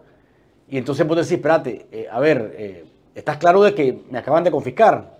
Sí, pero es que a mí no me, han notificado. Entonces tengo que pagarte la cuota. Y entonces armas toda una, una, un enredo, porque no hay ni pie ni cabeza en esto, pero es porque con lo que decía ahí, coincido plenamente con José Antonio, es porque la dictadura ha eh, dinamitado todo lo que tiene que ver con ley, con el Estado de Derecho, con el respeto a la norma, con el respeto al, al derecho del consumidor, bueno, con todo. Y es, casualmente la ley de la selva, pues la ley de, del más fuerte. José Cardosa, te escuchamos. una, una acotación rápido, una acotación rápido, pero es el punto de actuar en la ley y o también sos arbitrario, porque si vos ya no sos nacional nicaragüense, vos no existís en el país, ¿cómo vas a tener una deuda con una institución financiera que existe en el país? Entonces, para una cosa se rigen bajo la ley, pero para otra cosa no se rigen bajo la ley. Entonces ahí vos estás viendo que también se está haciendo un uso arbitrario de lo que hace la dictadura, que para mí ese es el cuestionamiento que se tiene. No estamos pidiendo que resuelvan la crisis, pero bueno, entonces cumplan la ley. No déjenle de cobrar a las personas sus deudas, sus propiedades, porque ya no existen según la ley que ellos están siguiendo. Pero te cancelan tu cuenta porque no existí por una normativa, pero te siguen cobrando porque sí existí. Entonces hay una arbitrariedad, hay una discrecionalidad, inclusive de estas instituciones, que para mí es lo que se debe de cuestionar. Un uso a, favor, a su favor, pues, de, de las arbitrariedades. Y eso creo que es en, está a la vista. José Cardosa. Sí, bueno, yo eh, nuevamente coincido con Douglas. Los bancos siempre van a querer, digamos, eh, defender sus intereses económicos y esto de la, de, la, de, seguirle cobrando a las personas que han sido despojadas por la dictadura de su nacionalidad, pues es, digamos, una doble acción que no va, que por un lado acatan la ley, pero por otro lado no la acatan. Y fíjate, yo quería contextualizar un poco esta situación de los bancos, porque fíjate que antes de los, eh, de los 316 eh, expatriados, ya habían antecedentes de, en los que la dictadura a, través de los bancos congelaba las cuentas. Y quiero, quiero recordar el caso del ambientalista Amaro Ruiz, que no recuerdo fielmente si fue así, pero él se disponía a hacer una transacción bancaria y en ese momento el, banco le notificó, teniendo fondos, de que no podía hacerla. Y en ese momento él, se percató de que, de que la cuenta estaba congelada. Yo quería aportar también el tema de las compañías telefónicas, es decir, esto no solamente se concentra a nivel de las instituciones financieras, sino que también de, la, de las compañías de telefonía. Es, es, es evidente y es voz populi de que en Nicaragua existe un aparataje de vigilancia cibernética eh, que se ha venido afinando a raíz de la crisis de 2018. Y específicamente, fíjate que las compañías telefónicas eh, ni siquiera te notifican o te dan una respuesta cuando, cuando, cuando algunas personas, defensores de derechos humanos, etcétera, reciben llamadas extrañas o reciben, este, digamos, algún tipo de el código que te manda WhatsApp a veces que es un claro indicio de que quieren abrir tu cuenta de, WhatsApp en otro lado, simplemente no, no, hay respuesta. Y conozco casos donde eh, las personas han consultado a las compañías telefónicas y simplemente dicen que, que no tienen el registro de las llamadas y que no tienen el registro de los mensajes cuando la ley de ciberdelito, este, precisamente aprobada por la dictadura, los obliga a tener un, un registro de casi un año de todos los datos de, la, de, la, de las personas. Pero volviendo al tema de los bancos, fíjate que esta práctica eh, la dictadura la está sustentando sobre el control absoluto al régimen financiero a través de una reforma que aprobaron eh, en 2021, que es la reforma a la ley 587, la ley de mercados de capitales y la ley general de bancos, en la cual pues prácticamente despojan a la ciudadanía de, de ese sigilo bancario, entre otros beneficios que sin duda alguna tienen derecho los usuarios de la banca. Entonces yo creo que esto, eh, eh, para contextualizarlo, yo creo que esto pica y extiende. Gracias, eh, José. Peraza, ¿quieres decir algo más? Sí, mira, lo que te quiero decir es que las arbitrariedades en Nicaragua son cosas de todos los días, principalmente con los bancos desde antes de la dictadura, desde antes que la dictadura se expresara como se expresa, porque la dictadura está desde el 2008, que se dio el primer fraude electoral y que dio al traste con el acuerdo que había entre el PLC y el Frente Sandinista. Si vos ves la, las discusiones políticas, decían ellos que ese acuerdo, o sea, el pacto del 2000, iba a darle estabilidad a Nicaragua por 50 años. Imagínate qué visión de nuestra élite política. El gran acuerdo era para darle estabilidad a Nicaragua 50 años. Ocho años después teníamos el primer fraude y de ahí para acá ya todos sabemos la historia, que no la voy a repetir. Yo lo que vuelvo es la falta de visión nuestra siempre en lo que estamos por ejemplo, reclamo a los bancos, yo los he oído desde antes del 18 de abril, donde te citan para, para juzgarte, en los juzgados donde se dan las cosas, eh, cómo ellos hacen las cuentas para cobrarte, y dónde te vas a quejar. O sea, hay, hay unos mecanismos que no funcionan. Eh, volvemos al mismo tema. Nicaragua es un país que nunca ha podido construir un Estado de Derecho. No vamos a entrar aquí porque de hecho, en el, Entonces, de que no, de hecho, de que en nos de, asusta de- ahora. De- fomento hay una Ah. oficina supuestamente de, de- de defensa del consumidor y, y demás, Sí, que no y es una había cosa un- más que una fábula. Pues. una cosa de mediación y hay un montón de cosas donde estaba, ¿cómo se llama? Que ahora es magistrado del Consejo Supremo, ¿cómo se llama? Cairo Amador, de arbitraje para resolver Pero competencia. ¿Cuándo han funcionado? Aquí en Nicaragua hay un montón de elefantes blancos que se construyen para que todo siga igual. Una cosa que tenemos que entrarle con mucho rigor cuando regrese la democracia es construir instituciones que sí hagan que la democracia funcione, porque la democracia funciona con instituciones. Lógicamente, las instituciones que habían antes de Ortega eran mucho mejor que las que tenemos ahora, pero tampoco es que eran una gran cosa, por eso fueron destruidas y, y saqueadas y, y per- pervertidas tan fácilmente. Eh, la sociedad nicaragüense tiene que entrar, pues no ahorita, porque estamos en una dictadura y ahorita todo debe ser en contra de la dictadura, pero una vez recobrada la democracia, es que esa democracia debe ser construida para que funcione, no para aparentar que funcione, como es lo que hemos hecho, y por lo tanto, las instituciones no, no, no, no clavarse en el suelo, eh, son como marionetas, ¿verdad? Son como veletas que van a un lado dependiendo del poder político que tenga el momento. Tenemos una gran labor, construir un Estado de Derecho. Se oye fácil decir eso, el Estado de Derecho, el Estado de Derecho, eh, pero no es tan sencillo porque no lo hemos podido hacer en 200 años. Entonces, no es una, labor del día. Pues. Lo dejo eso. Ok, pasemos entonces, después de este, de este tema que es por demás delicado, porque se trata de derechos del consumidor, de responsabilidad de las empresas, pero el telón de fondo es que todo eso serviría y sería discutible si estuviésemos en un país donde las leyes se respetan. es. El tema es que en un país donde hay una dictadura criminal como esta, todo eso queda prácticamente como papel mojado. Y vamos al Solo te asalto la palabra. No se puede resolver ese problema sin una sociedad libre. Sí. Porque, ay, si, si yo me siento afectado, yo voy a ir y voy a debatir. No necesariamente se va a hacer lo que yo diga, pero sí se me van a tomar en cuenta. Eso no lo puedo hacer. Tu derecho a reclamar está, está cercenado definitivamente en todos los aspectos. En todos los En aspectos. todos los Vamos a- al otro tema que es que ha, si- que ha sido noticia, el debate o el conversatorio Mossi, eh, Manuel Orozco, Ryan Bear.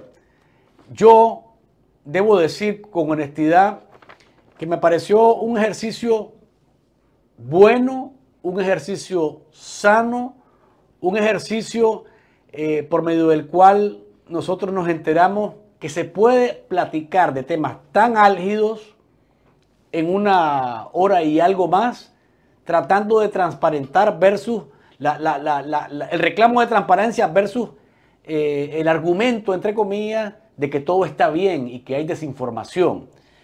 Eso me pareció, eh, en medio de toda esta oscurana que tenemos, en la que Nicaragua los debates y, y, y la- y los cruces de, de- visiones o de opiniones están prácticamente prohibidas, pues creo que fue importante que Mossi llegara, se abriera al debate, que se encerrara en su, en su, en su respuesta, pero creo que fue importante el hecho de que él diera el paso adelante. Hay gente que dice, eh, él, sabía lo que llegaba a hacer, llegaba a, a, tirar la pelota a otro lado diciendo que no es el responsable de todo, diciendo que los miembros del directorio son los que aprueban y los que desaprueban, pero él tiene una responsabilidad y él tiene una influencia y él tiene también algo que no se puede eh, quitar de encima, que es que la cercanía que él hace con la dictadura es evidente. Y además prácticamente propagandista del régimen diciendo que hacen las cosas bien, que manejan los préstamos muy bien. Y se desatiende el tema de los derechos humanos porque no es esta ventanilla a la que tienen que tocar. Esta ventanilla es de préstamos, de dinero, de intereses y lo demás. Otro aspecto es la siguiente ventanilla, allá en la OEA, en el Grupo de Derechos Humanos de la, de la ONU, en la CIDH. Comienzo con José Cardosa. José, ¿qué te pareció a vos este, este, este, este debate, este conversatorio? Desde mi perspectiva, muy bien por el ejercicio, muy mal también por el sonido y por la traducción, para que lo tengan en cuenta los que lo organizan. Eh, bueno, Luis, efectivamente, y creo que conversábamos bilateralmente ayer incluso para el trabajo del, día a día, de que me parece que es un ejercicio pertinente, un ejercicio muy provechoso y, muy fructífero porque también, eh, digamos, la población a través de la interacción con las redes sociales pudo exteriorizar esos sentimientos y sus puntos de vista alrededor de la gestión del BCE como financista del régimen de Daniel Ortega y Rosario Murillo. Por otro lado, yo te, yo te comentaba, ¿verdad? El tema de la traducción a criterio personal, yo creo que se debió haber hecho en español, ¿verdad? Para que la población pudiera comprender. Pero también me parece válido algunos comentarios que señalaban que también era para, eh, para los senadores, los congresistas, que también pudieran estar empapados sobre el tema que precisamente se elaboró o se, o se llevó a cabo en ese en inglés. Eh, yo vi, fíjate que eh, un Dante Mossi que estaba repitiendo un tanto y que se venía preparando para este debate a través de sus publicaciones en Twitter, que aquí en Café con Vos las la, hicimos públicas en el programa día a día, en el cual existían algunas contradicciones. Incluso yo recuerdo, Luis, de que eh, bilateralmente comentábamos, no sé si fue el, el, el, martes, me parece que fue el martes o el miércoles, y este, que, que Mossi establecía de que Nicaragua necesita más créditos porque es el país de Centroamérica que más migrantes tiene.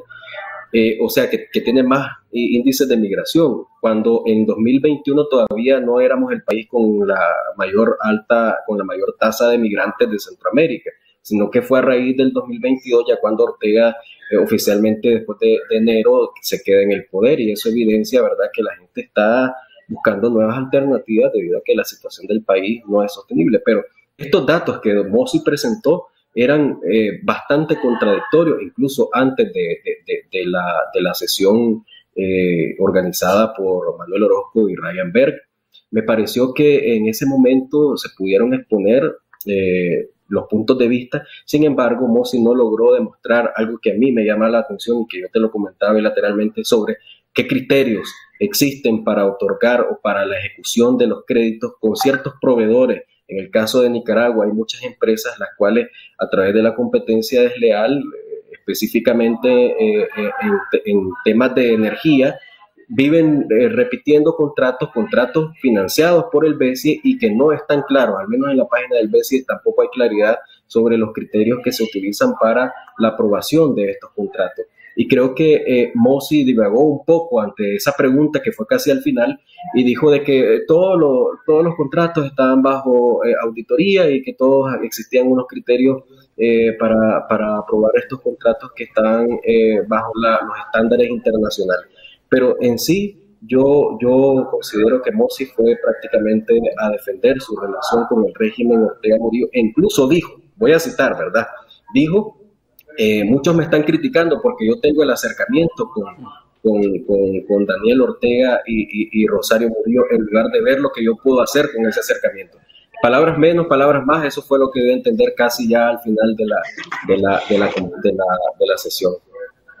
Douglas, algo que yo sí considero que Mossi dijo y es acertado, es que él le llama presidente Daniel Ortega porque la comunidad internacional lo sigue reconociendo como tal. Yo creo que ahí él da eh, en el blanco cuando dice, hey, pero ustedes, el presidente, el presidente y el sistema internacional, la comunidad internacional lo reconoce como tal. ¿Por, qué yo, ¿Por quién soy yo para desconocerlo? Si el resto del mundo lo está viendo como tal. ¿Qué pensás de esto y tu visión alrededor en general del, del evento? Bueno, sobre ese último punto, bueno, Daniel Ortega tiene el control territorial, tiene el monopolio de la violencia y en base a esa definición clásica de quién es el que gobierna y tiene el país, Daniel Ortega, la cuestión es que es un presidente no democrático, es un gobernante no democrático, es un gobernante autoritario, pero de que él tiene el poder en sus manos, eso no cabe ninguna duda, y que abusa de ese poder, que lo ha concentrado, ese es otro punto. Pero ya yéndonos a fondo sobre el tema del debate con Dante Mossi, yo quiero ir a, varios puntos. Pues primero eso de que ahora muchas él se quiere vender como el único canal que hay con Daniel Ortega y tratarse de poner como un buen componedor o un mediador. Eso es peligroso, pues, porque a mí se me viene a la mente otra de las personas que ha sido propuesta como un mediador para solucionar la crisis en Nicaragua, que es Humberto Ortega. Imagínate la oposición en manos de esos dos mediadores. El otro punto ya es en la discusión política y técnica que hay en torno al BESE. Sin lugar a dudas, Daniel Ortega se ha refugiado en Centroamérica, sobre todo en el BESIE, para tener cierta sostenibilidad fiscal y seguir con sus proyectos, sobre todo de inversión en infraestructura. ¿Por qué? Porque se le han cerrado las puertas en el Banco Mundial, en el Fondo Monetario Internacional, y se le han cerrado esas puertas precisamente porque en esas instituciones se ha cuestionado al régimen de Nicaragua, a su transparencia y a este tema de que tiene que rendir cuenta en torno al tema de los derechos humanos. Para mí no es justificable que Mossi diga de que a él no le interesan los, los derechos humanos. Y ojo, él confunde derechos humanos con política. Él no se mete en asuntos políticos, como que si es un asunto político que acribían a una persona. Eso también es un tema de derechos humanos. Atañe a la política, pero lo trasciende. Luego viene el punto de los cuestionamientos que vienen desde 2019. Una de las principales críticas es que el BESIE está mandatado a proyectos de infraestructura que ayuden a la integración centroamericana. Ninguno de esos proyectos tiene que ver con un programa de integración centroamericana. Eso lo denunció el ex canciller de El Salvador, que hizo una investigación para hacer el foundation sobre el tema del, del BESIE. Ya había salido mal parado en ese momento. El otro punto es el que plantea José Cardosa, el tema de la rendición de cuentas. Dante Mossi dice que hay rendición de cuentas, realmente no es cierto. Son informes bastante generales que no tienen ningún tipo de detalle y nosotros sabemos, por ejemplo, el caso de la vacuna, el caso de los medios de comunicación, todos los medios de comunicación que se benefician de esos préstamos son los medios de la dictadura y no se beneficia ningún medio independiente o de oposición, como ellos les dicen, porque sencillamente estos no existen. El otro punto es que estos recursos no son utilizados políticamente, eso no es cierto. Toda esa infraestructura que hay en los distintos municipios es utilizada como estrategia también de clientelismo y de propaganda. Si no recordemos que en las recientes farsas electorales, toda la campaña electoral giró en torno a inauguración de carreteras, de puentes financiados con el BESIA. Y ya para, para finalizar, es que yo sí creo que se ha hecho un buen trabajo en el sentido de que el costo reputacional para Dante Mossi lo ha obligado precisamente a dar la cara, a responder. Lo que decía José Cardoso anteriormente, tiene dos años de estar como loco todos los días tratando de justificar el financiamiento del BSIE a la dictadura de Nicaragua. Y en ese sentido hay que seguir en esa presión, pues estamos claros de que no, pues, por lo mismo, pues la solución es política, se necesita construir una alternativa real que haga un cambio, pero también hay otras formas de lucha y es legítimo también en el marco de la lucha pacífica la presión económica. Si no recordemos a Gandhi que su grandes estrategia también era no pagar impuestos, no pagar la sal, igual pasó con el apartheid y todos los regímenes. Siempre hay un componente de presión económica, de elevar el costo moral de aquellas personas que quieran colaboracionar con estos regímenes autoritarios. Entonces, yo creo que eso es un paso positivo, pero creo que da para mucho todo ese debate porque se dijeron demasiadas cosas, inclusive también se dijeron muchas falacias, porque creo que la estrategia de Antemosi con estos términos era tratar de equiparar a Nicaragua con el resto de Centroamérica. Ah, Nicaragua es un país con los mismos problemas del resto de Centroamérica. No es cierto. Inclusive comparó a las víctimas de los crímenes de lesa humanidad en Nicaragua con las víctimas de los desastres naturales en los otros países. era, de eso no se salía. Y lo otro es echarle el clavo, disculpen la palabra, a la junta directiva. Como que si él solo obedece órdenes, es decir, con aquel viejo argumento de la obediencia debida, él no tiene responsabilidad de solo seguir órdenes. Lo mismo decían las personas que ejecutaban en nombre de generales o de un gobierno. Eso no es cierto. Gracias, Douglas. José Antonio. Bueno, yo voy a desentonar otra vez, pero vamos, vamos paso a paso. Miren, aquí hay un debate eterno entre la parte técnica y entre la parte moral. A ver, el CAFTA tiene un tratado, tiene una cláusula democrática, el acuerdo de asociación, que yo lo trabajé profundamente, tiene una cláusula democrática y no se, no no se han aplicado. Yo escuché al canciller antes de que me detuvieran, el español, que ahorita no recuerdo, de Europa, decir en aquel momento. ¿Cómo? Borrell, Borrell. Borrell. Sí, decir, nosotros no le vamos a aplicar al pueblo de Nicaragua sanciones generales porque eso lo va a dañar. Esa era una decisión y yo estuve en la Comisión Europea hablando con el responsable de América Latina, que por cierto es casado con una amiga mía, y él nos dijo, nosotros no nos vamos a meter en ese Estoy hablando, eso fue en el 2016 y lo que le estoy diciendo fue en el 2021, fue como un mes antes de que a mí me detuviera. Entonces, miren, no voy a defender a Mos, Mossi, no sé cómo se pronuncia, Mos, posiblemente. Mossi, Dante Mossi. Mossi. Miren, yo tengo varios amigos que han trabajado en el BESI. Y cuando hablo con ellos, lo que me dicen que en el BESI nadie, nadie se mete contra nadie. Hay una norma no escrita que los gobiernos no se oponen a que le den préstamos a nadie. O sea, ni los hondureños se oponen a lo que le dan a Nicaragua, ni en Nicaragua se oponen a lo que le dan a, los panameños, etcétera, etcétera. Hay un acuerdo no escrito que lo más importante es recibir este, el financiamiento independientemente de quién gobierna y cómo lo gobierna. Entonces, en ese sentido, Mossi tiene razón son los gobiernos, o sea, el, directorio el que le debe decir, mire, esto no se, esta frontera no la podemos pasar, pero parece que nadie. Antes de que me detuvieran, Costa Rica estuvo haciendo algunos cuestionamientos, pero Costa Rica yo no vi ni a El Salvador, ni a Honduras, ni a Guatemala, pues por lo menos en ese tiempo, porque tengo mucho de no hacerlo, de no estar cuestionando el tema. En otras palabras, por lo que yo sé, el BCE no se va a meter en los temas políticos, porque ha sobrevivido 50, 60 años sin meterse en temas políticos. Y es el mismo problema de Nicaragua. El problema lo tenemos nosotros. Ahora, ¿debería una institución como esa tomar en cuenta el tema político? Sí. Pero ellos decidieron hace mucho tiempo no hacerlo, porque los países centroamericanos siempre están sometidos a ese vaivén y parece que el banco decidió, ¿verdad? Y el directorio de ese banco, que está hecho por centroamericanos, decidió no meterse en ese tema. Ahora, ¿me molesta a mí el financiamiento con, respecto a Ortega? Sí me molesta. Pero yo no he visto a los financiadores del BESIE, porque el BESIE no tiene, no tiene dinero del aire. Ahí está metido Taiwán, ahí está metido España, y está metido, no sé si Estados Unidos, pero ahí hay un metido, un Corea, y hay un montón de gobiernos que le dan dinero a ese banco. Yo no he visto que hayan hecho nada tampoco.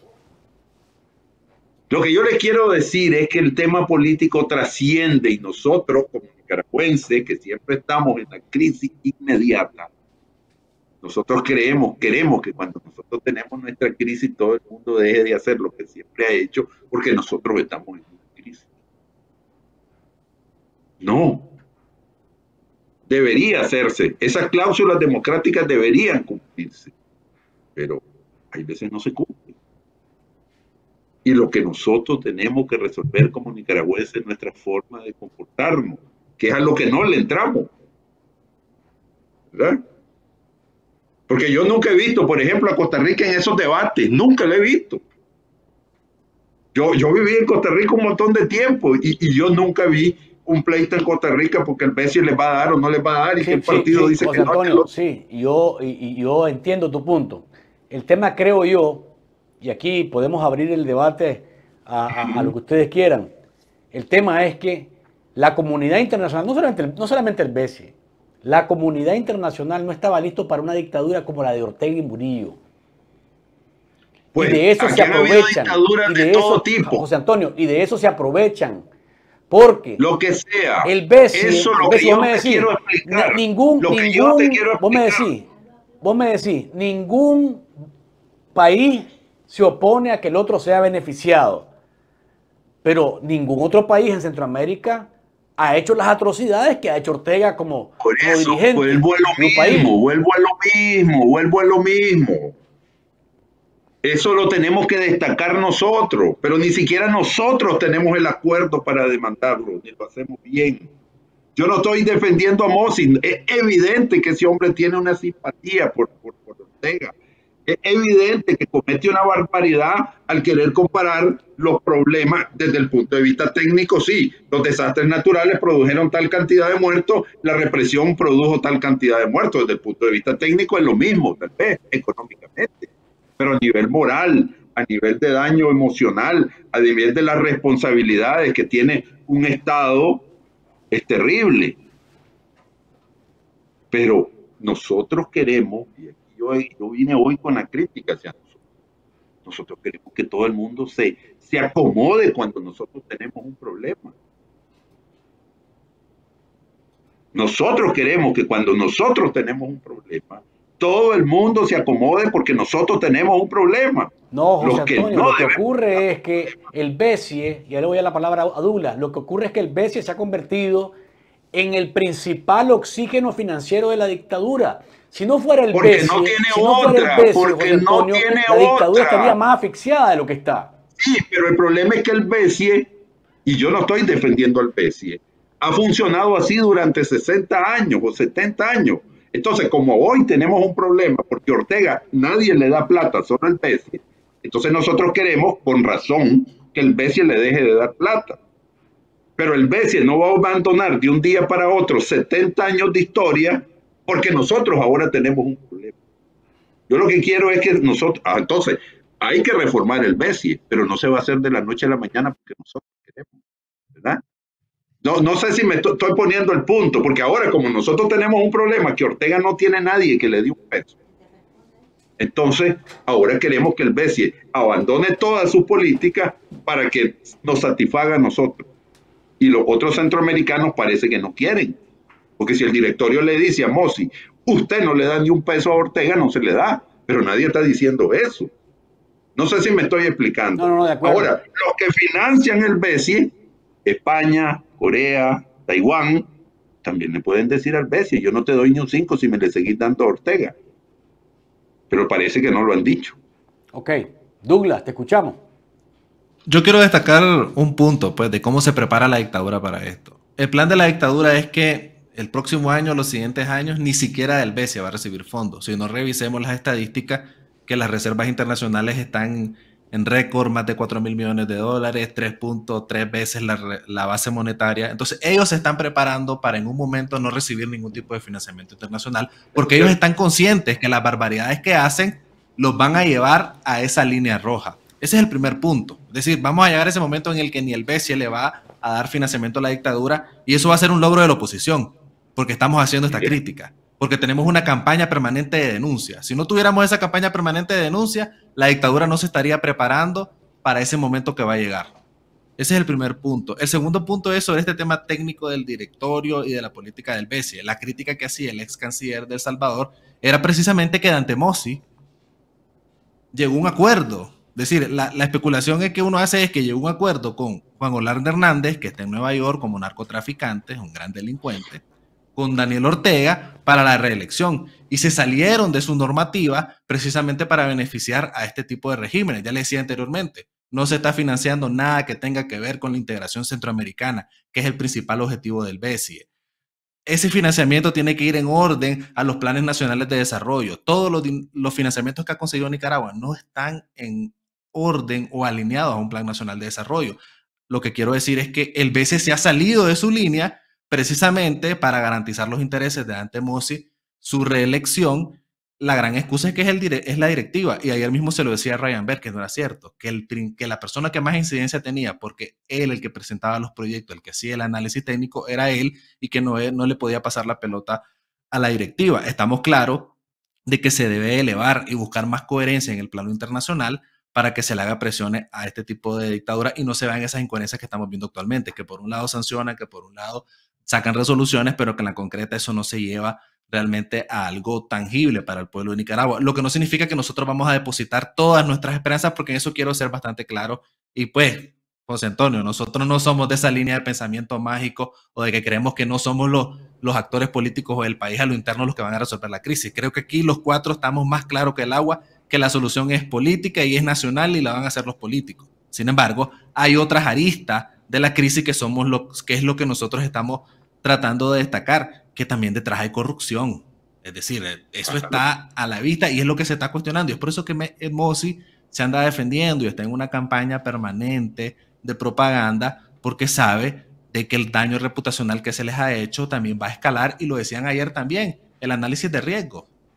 ¿Qué? Que no van a conseguir más capital a nivel internacional por ese cuestionamiento fuerte que hay sobre ese financiamiento a regímenes vinculados con el narcotráfico, a regímenes autoritarios, y no solo el de Nicaragua, porque para mí es totalmente normal que Xiomara Castro, que Yamatei, que Bukele apoyen a Nicaragua, porque es un espejo de a, futuro hacia lo que ellos quieren ir. Lo que no significa que porque en mayoría Centroamérica esté apoyando estas barbaridades, eso lo que nos está diciendo es que la decadencia es más todavía, más grande de lo que existe en Nicaragua. Y eso hay que cuestionarlo también, no solo, no solo Daniel Ortega, sino decirlo, los que somos demócratas, que defendemos la libertad, nosotros no solo cuestionamos a los autoritarios de nuestro país, sino también cuestionamos al sistema internacional que permite que estas dictaduras estén creciendo, porque nosotros lo hemos dicho anteriormente, las dictaduras son más solidarias entre ellas que las mismas democracias, y eso es lamentable, pues. Y eso hay que eso es lo que está en la discusión en los últimos años y termino con esto, sobre el tema de la, del tema económico y político, lo técnico y lo político, la guerra de Ucrania lo cambió todo.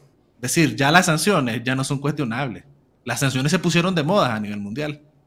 Ya Putin ahorita inclusive lo mandaron a la Corte Penal Internacional. Entonces ese conflicto ha cambiado también la, visión en Nicaragua. Pues yo creo que ya, ya, está fuera de discusión el tema de que las sanciones afectan al país o que no sé qué, que no sé cuánto. Son vistas como un instrumento legítimo de incidencia política. Por eso para mí ese, ese es un parte de agua que hay que destacarlo y es por eso que también gente como Mosi está preocupadísimo. Peraza. Mira, hombre, eso estamos claros que han habido cambios, pero esos problemas también existen. Corrupción hay en todo Centroamérica, en unos más, en otros menos. Eh, el tema central es que el banco tiene una regla, Ortega medio las cumple, tiene un gerente que es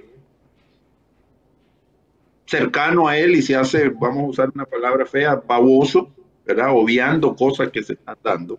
Pero al final de cuentas, los que determinan eso son los que votan. Y los otros gobiernos, porque existe, y vuelvo a repetir, una ley no escrita de que nadie se mete con el otro para que nadie se meta conmigo. Pero entonces ahí está. Entonces, donde no hay es una sinceridad democrática, no hay un acuerdo democrático. Y a lo interno nosotros no tenemos un acuerdo democrático. Y les voy a contar algo que no tengo por qué hacerlo siquiera hablando con unos banqueros, ellos firmaron un acuerdo democrático. Y ese acuerdo democrático nunca se ha cumplido. Los partidos de Nicaragua dicen que son demócratas y, y te firman cualquier cosa si les permite estar en el poder. Lo que quiero decir es que tenemos una fibra tan antidemocrática, está, esa flor es tan exótica en nosotros que solo la utilizamos cuando nos sirve. Ortega subió con una facilidad que yo me quedo espantado. La gente me pregunta, pero ¿cómo? ¿Y qué hicieron los intelectuales? ¿Y qué hizo la sociedad civil? ¿Y qué hizo este? ¿Y qué hizo lo otro?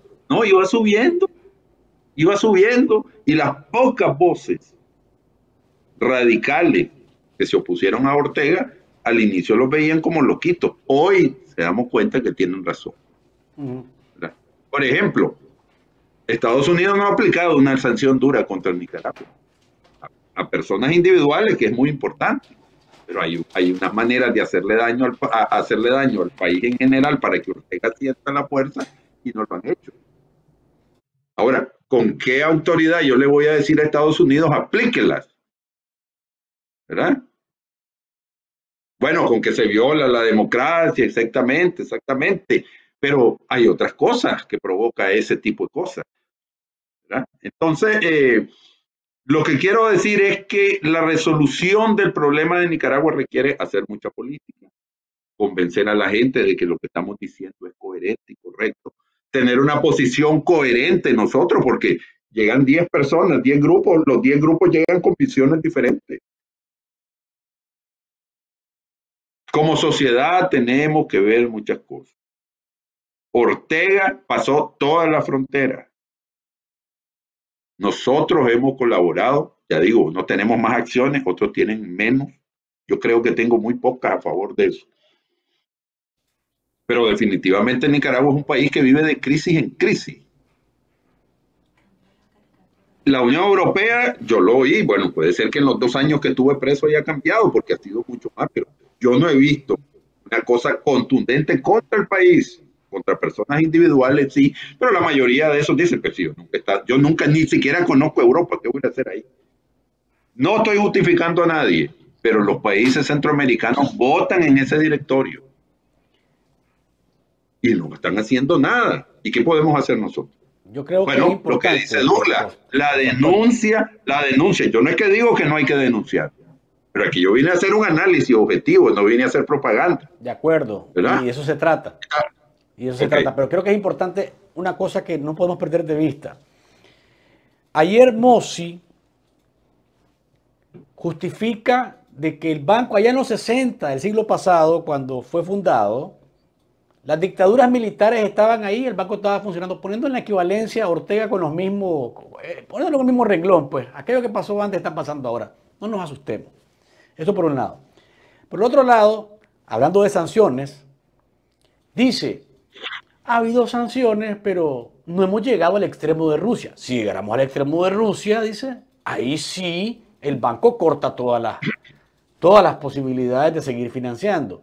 Entonces, para mí lo más importante de lo que se ha logrado es primero que Mossi no se siga haciendo el loco con lo que está, con el, con el trabajo que hace. Eso es muy importante. Porque ha salido a la defensiva incluso con una feroz campaña publicitaria hasta en CNN y en los programas que más miran los nicaragüenses, por ejemplo, eh, conclusiones de Fernando del Rincón. Ahí, está el BESI ahora financiando eh, con publicidad a un canal que no es barato. ¿eh? Eso por un lado. No sé si se ha visto obligado a responder algo que antes no le parecía que era importante hacerlo. Segundo, el BESIE como institución está siendo cuestionado porque es Mosi el rostro al que le tiramos piedra, pero es la casa del BESIE la que está fallando y creo que José Antonio tiene un punto muy importante. Hay una hipocresía vulgar, obscena, desde los países que forman parte del BESIE. Porque una cosa es que vos votés en una resolución de la OEA condenando la represión de Ortega y la violación de los derechos humanos y que digas que Ortega es ilegítimo porque, no, porque hizo un sainete electoral por medio del que se reeligió. Y otra cosa es que votés en lo que efectivamente puede dolerle, que es, yo no apruebo un peso más si seguís matando gente yo no apruebo un peso más si seguís encarcelando a nicaragüenses. Yo no apruebo un peso más si las libertades de Nicaragua no son restauradas y respetás el sistema democrático interamericano. Yo creo que ahí está el punto también en el cual deberíamos de hacer énfasis. ¿Hemos logrado cosas? Sí. Y digo hemos logrado porque todos hemos empujado en la línea de que Mosi responda. Ya lo hemos sentado en un debate público. Es muy importante. Ah, que llegó a jugar piernas y a correrse y a decir su discurso. Pero antes ni siquiera habíamos pensado en que podía ser posible algo así. Y el, y el BESIE está en la palestra y los demás organismos internacionales lo están viendo. Y seguramente van a cuestionar un poco porque, ajá, y entonces, ¿en qué quedamos? Es cierto que los derechos humanos no son la ventanilla ustedes de los derechos humanos, pero para que un organismo le preste dinero a un país que está siendo dirigido por un régimen autocrático, despótico por demás, por lo menos debería haber algunos parámetros para frenar cuando no se debe de financiar esto. No sé, José Cardosa, ¿tenés algo que decir al respecto? Creo que sí. Bueno, sí, yo, yo, yo igual destaco de que toda esta, esta exposición de los argumentos en cuanto a, las cosas que se ven negativas de las acciones del BCE ha obligado a, a, Mossi a, llegar a, este a este foro organizado por, por Manuel Orozco y Ryan Berg. Y, y si bien tal vez eh, desconocemos hasta este momento, pero a lo mejor esos cuestionamientos que vos señalás, Luis, que a lo mejor posteriormente, después de, este debate o incluso después de esta presentación de argumentos sobre eh, las acciones del BCE, puedan darse por parte de algunos países, a lo mejor y hasta ya existen y, algún tipo de, cuestionamiento interno a lo mejor habrá obligado a, a, a, digamos, a, aceptar o, a, participar en este debate eh, eh, con, con, Ryan Bell y Manuel Orozco. Yo quiero destacar, sí, de que reiterar un poco de que esto ha obligado a, a, a a sacar todos los argumentos y venirse preparando a lo largo de todo este tiempo con, con una serie de entre comillas, argumentos que, que si bien incluso son contradictorios, como es el tema que yo mencionaba anteriormente, el tema de la migración, pero sí valoro muy positivo de que se haya podido eh, este, realizar este tipo de, de, intercambio y pues genera muchas más expectativas y sí me llama mucho la atención. Eh, todavía creo que está pendiente, el señor Mossi no le explicó cómo es la situación de el otorgamiento de la, mejor dicho, de las adjudicaciones en los proyectos que el BCE financia. Y yo quiero destacar también que eh, el señor Mossi admitió algunas cosas en el, en, el, foro. Por ejemplo, admitió el tema de, del acceso a la, a la, información que no existe y que, y que incluso sugirió de que, de que si una ventanilla de, del BCE no daban información, pues que podían contactarlo a él tranquilamente, algo que Manuel Orozco dijo que no era el procedimiento adecuado pues para pedir información y que incluso anteriormente había solicitado información sobre temas específicos sobre este tipo de contratos y proyectos y que dos meses después, si no me equivoco, llegó un correo preguntando que cuál era la pregunta.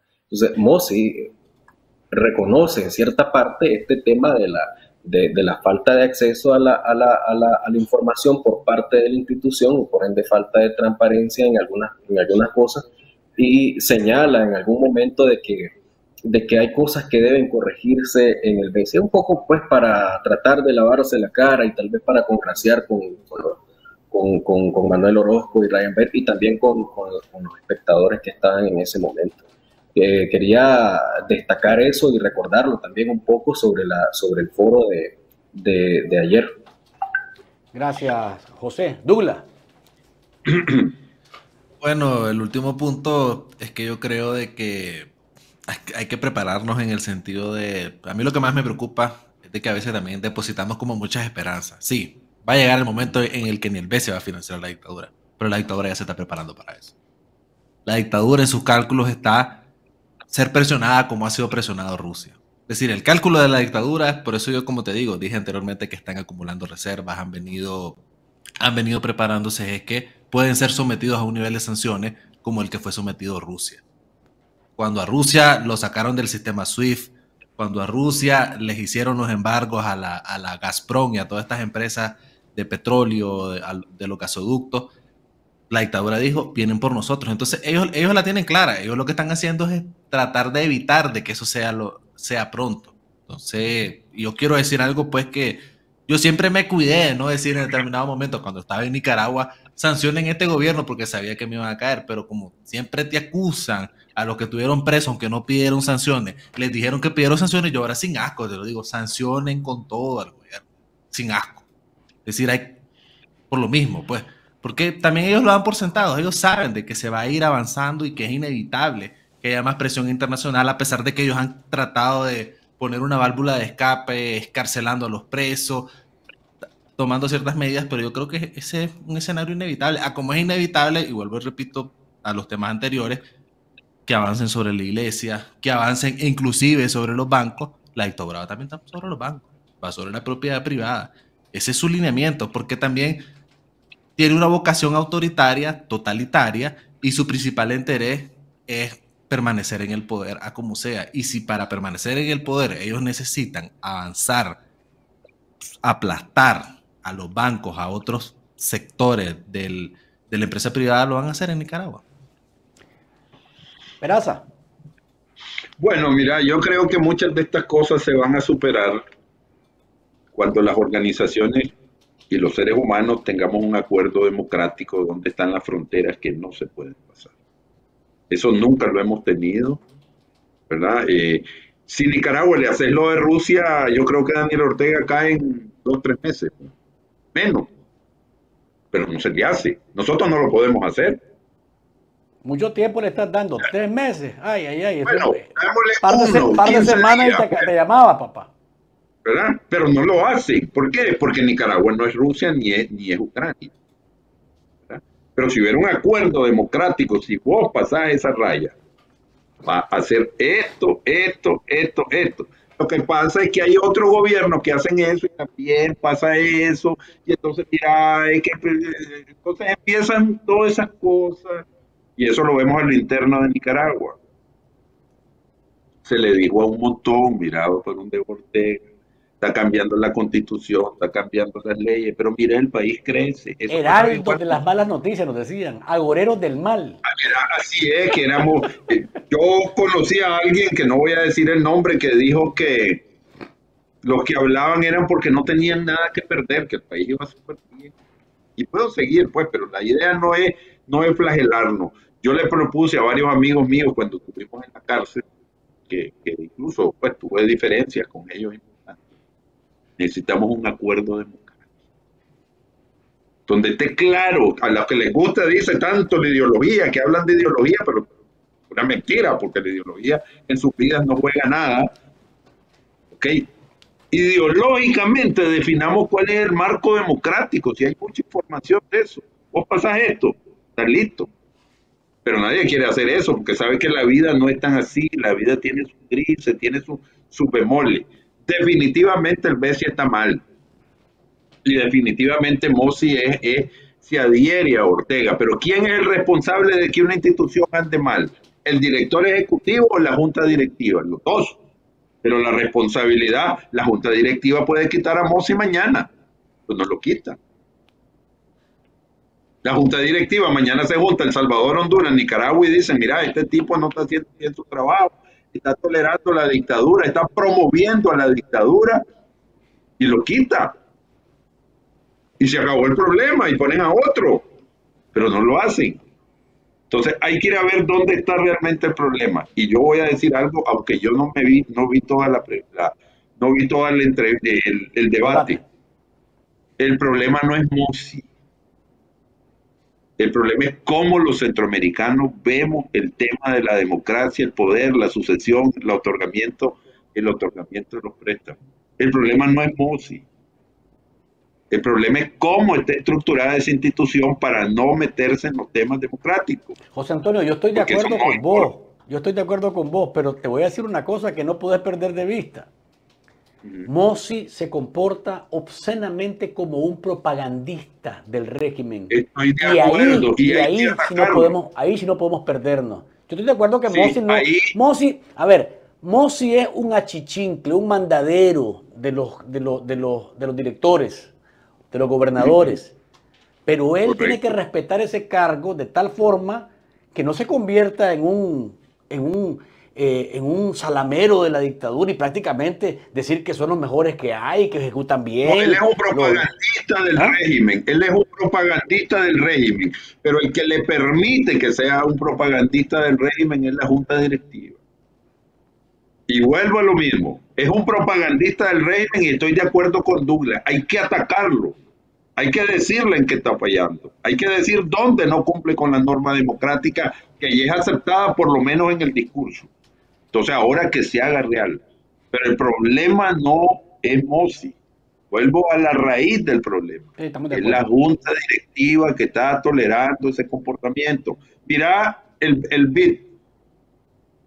Hay 26 países que dicen Nicaragua es una dictadura, no respeta las elecciones, esto, lo otro. Pero cuando se va a votar para expulsarla, no se, no se agarran los 24 votos porque no, es que eso no, es que va en línea con Estados Unidos, eso no puede ser, la negociación es que tiene que ser el patrón y no sé cuánto, y entonces de los 24 que, que supuestamente necesitas, donde 26 te habían dicho que no cumple con los criterios democráticos, cuando lo querés expulsar no llegas ni a 18. ¿Por qué? Porque hay un montón que ya no les gusta. Entonces, ¿por qué no salen, por qué no sacan a Nicaragua de la OEA y por ende del BID? Porque hay un montón de gobiernos que que sea. ¿Por qué qué? Esa parte no la escuché. ¿Por, qué qué? No quieren que salga. ¿Por qué, no, ¿Por qué hay 26 votos para decir que no cumple la norma democrática, pero cuando hay que castigarlo por no cumplir la norma democrática no están los 24 ni los 26 votos? Si acaso llegas a 18. No, no era para tanto, pues, o sea, es que no, era para tanto. mira, es que también puedes venir contra mí, que estoy haciendo otras cositas ahí, que para papá, ¿verdad? Entonces, a ver, eso no va a desaparecer porque a nosotros los nicaragüenses no nos gusta.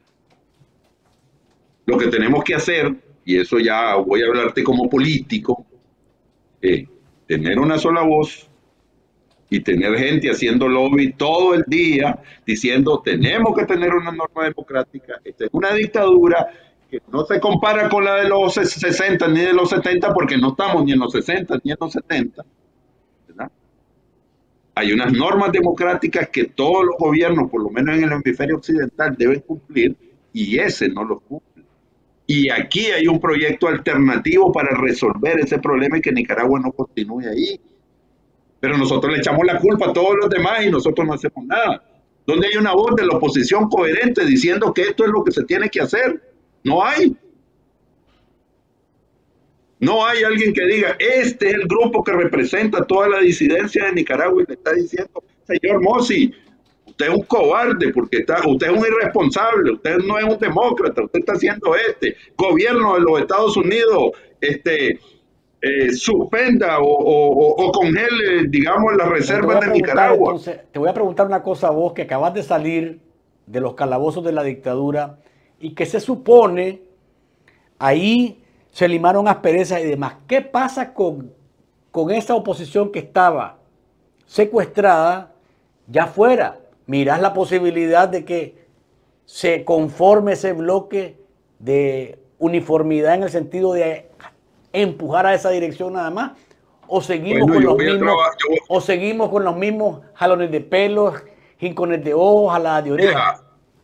Yo ya te dije que los nicaragüenses no vamos a dejar de ser quienes hemos sido durante 500 años porque hoy tenemos un problema.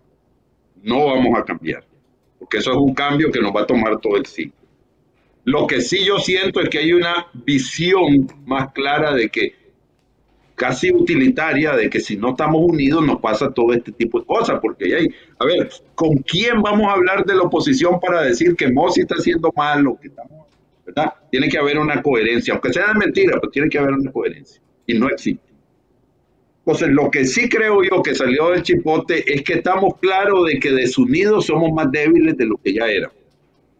Entonces, para ser más fuerte hay que estar unidos. Ahora, sobre qué nos vamos a unir, ese es otro tema que hay que discutir. Pero hay que construir un sujeto, voy a usar esta palabra que no es mía, pero la, la tomé de otro lado.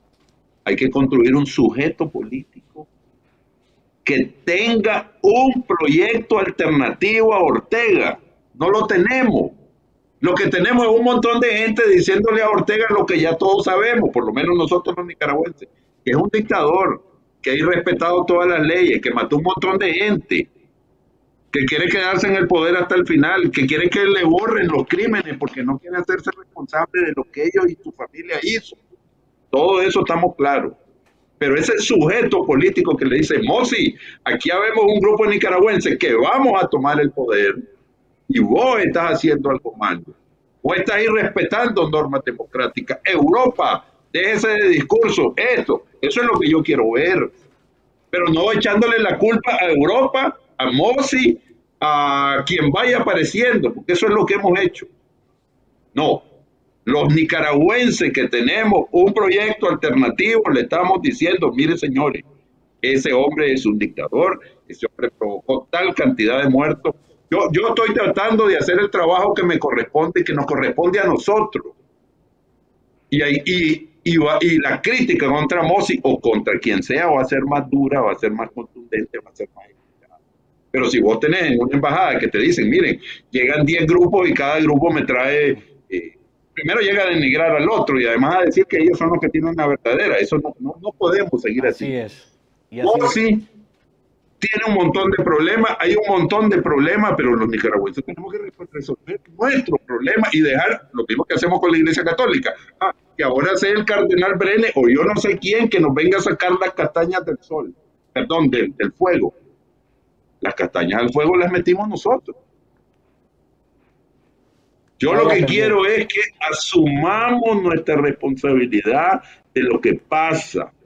No es que ahora Mosi, el cardenal Brene o etcétera, Perico Los Palotes nos va a venir a resolver el problema que nosotros mismos hemos construido. Porque somos, perdón, Ortega subió. No sé si, me, si, si estoy diciendo, dejamos que Ortega subiera Ahora, sabíamos quién era Ortega, sabíamos de dónde venía. Pero hay un montón de gente. ¿ya? Entonces, aquí estamos. Ahora, hay gente que tenemos más clara la cosa.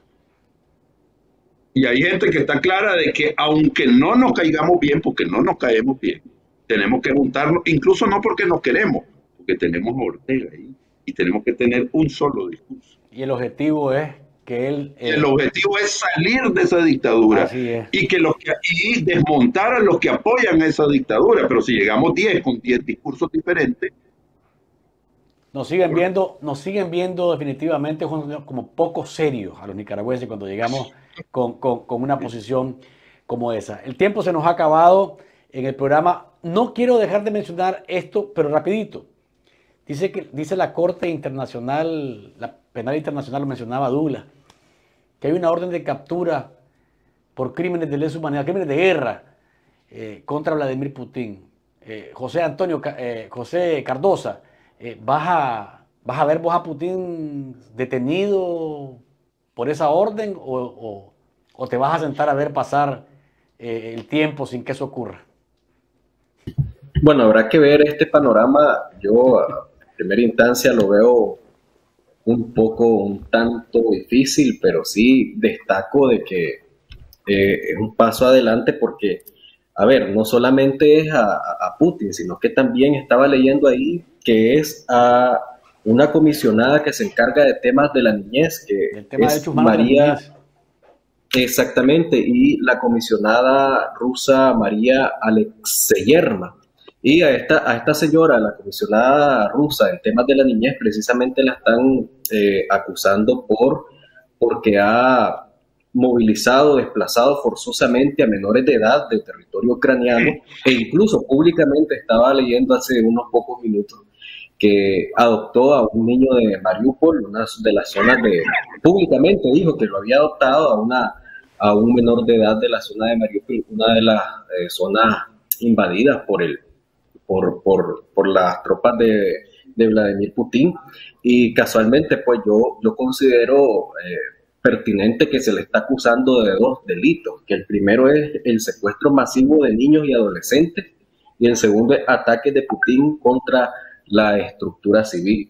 Eh, de, de, contestar tu pregunta de que si lo voy a ver o no lo voy a ver tras las rejas, yo es un poquito complicado, ¿verdad? Pero, pero sí destacar pues que este, este procedimiento se está dando, que incluso ya se veía venir, el mismo Putin lo estaba viendo venir porque el 14 de, marzo había dicho que no conocía la, la, autoridad de la Corte Penal Internacional sobre el territorio ruso, incluso varios funcionarios también lo, lo, han, este, lo han exteriorizado públicamente. Pero hasta el momento Ucrania ha, ha considerado a través de algunos funcionarios que es una, un, avance en esa búsqueda de, lograr ellos también su libertad y que la invasión cese en algún momento. Sí, considero que hay una repercusión, digamos, en, evidenciar un poco más el nivel e incluso la hazaña de, Putin acusado de crímenes de guerra. José Antonio Peraza, eh, Daniel Ortega, cuando se trata de la Corte Penal Internacional, trae a colación siempre aquella sentencia famosa de, de la Haya. 17 mil millones. Exactamente, los 17 mil millones de dólares que le debe Estados Unidos a Nicaragua por daños provocados por volarse puertos y demás. ¿Será que Ortega le va a decir a Putin, mira, yo creo que hay que acatar esa orden, hay que entregarse a la justicia? A ver, lo que yo planteo es por qué Ortega no tiene esa misma acusación. Sí, además de eso, eh, hay una, un, estoy escribiendo un artículo, por cierto, que lo vean el, el día lunes va a salir en la prensa, ya está, ya está, ya lo envié, sobre el tema que hay un, hay un Congreso Mundial de Derechos Humanos donde no meten a Nicaragua. Entonces, ¿cómo es eso? Se están violando los derechos humanos en todo el, en, Nicaragua, llaman a todo el mundo y menos a Nicaragua, por lo menos eso hicieron los argentinos. Entonces no se hace la pregunta, es que los nicaragüenses no sufrimos como sufre la otra parte del mundo, pero bueno, ese es otro tema. Pero los invito a que vean, ahí está claro los crímenes que cometió Ortega. Ahí está claro lo que le dice el grupo de expertos que analizó. Entonces yo esperaría que si Putin está ahí, Ortega llegue a esa misma conclusión, ¿no?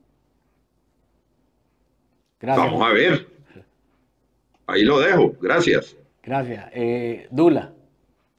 Fíjate que hablando de, ese tema, un amigo decía de que, por ejemplo, el caso de Humberto Ortega, que se las tira historiador, peca de anacronismo comparando el presente con el pasado. Pues lo que pasó ahorita con Putin es una muestra de que el mundo ha cambiado. Pues efectivamente, antes era prácticamente imposible ver que al jefe de Estado de una potencia nuclear como Rusia se le emitiera una orden de captura desde la Corte Penal Internacional. Ese es un avance de los derechos humanos. Efectivamente, es prácticamente imposible que nosotros veamos a Putin en ser tras las rejas. Solo tienen que pasar varias condiciones, que pierda la guerra, que su régimen colapse que no lo maten y que se lo entreguen a la, a, la, Corte Penal Internacional. Pero yo creo que hay que verlo como positivo. Y en el caso de Nicaragua, bueno, recordemos que el reciente informe del grupo de expertos de Naciones Unidas dice abiertamente y habla de responsabilidades de que en Nicaragua se cometieron crímenes de lesa humanidad y responsabiliza a los a, los, a, los, máximos responsables que son Daniel Ortega y Rosario Murillo.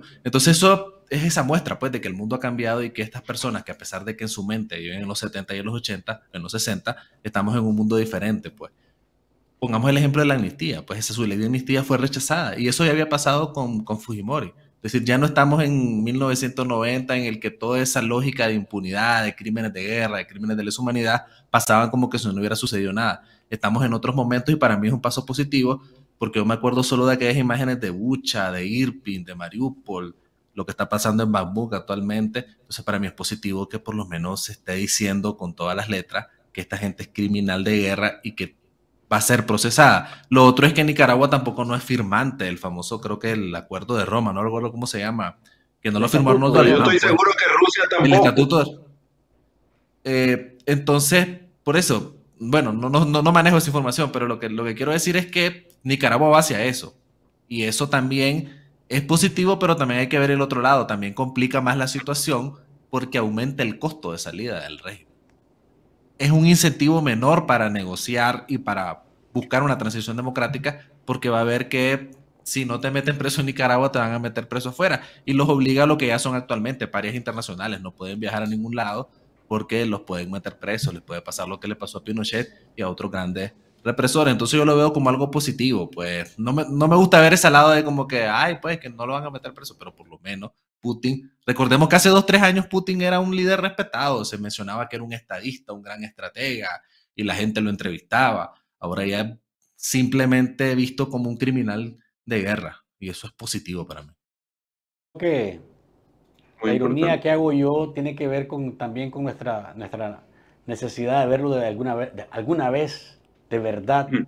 pagando por sus crímenes, tanto a Putin como a Ortega y a cada uno de los delincuentes que han violentado derechos humanos en, en, en, nuestros países. Solo una, una observación, este, Luis.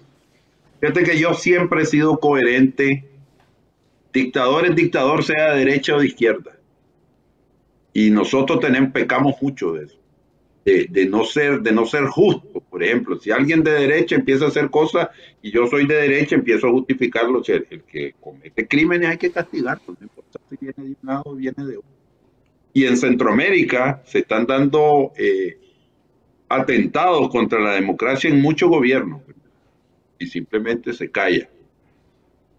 De ahí se dice que se está haciendo bien porque está haciendo esto, ¿no? Y respetar derechos humanos es irrespetar derechos humanos. Totalmente de acuerdo. No hay tinte en medio, no hay tinte en medio. Totalmente de acuerdo. No hay dictadura buena ni hay dictadura mala. Las dictaduras son malas todas y los derechos humanos tienen que respetarlos.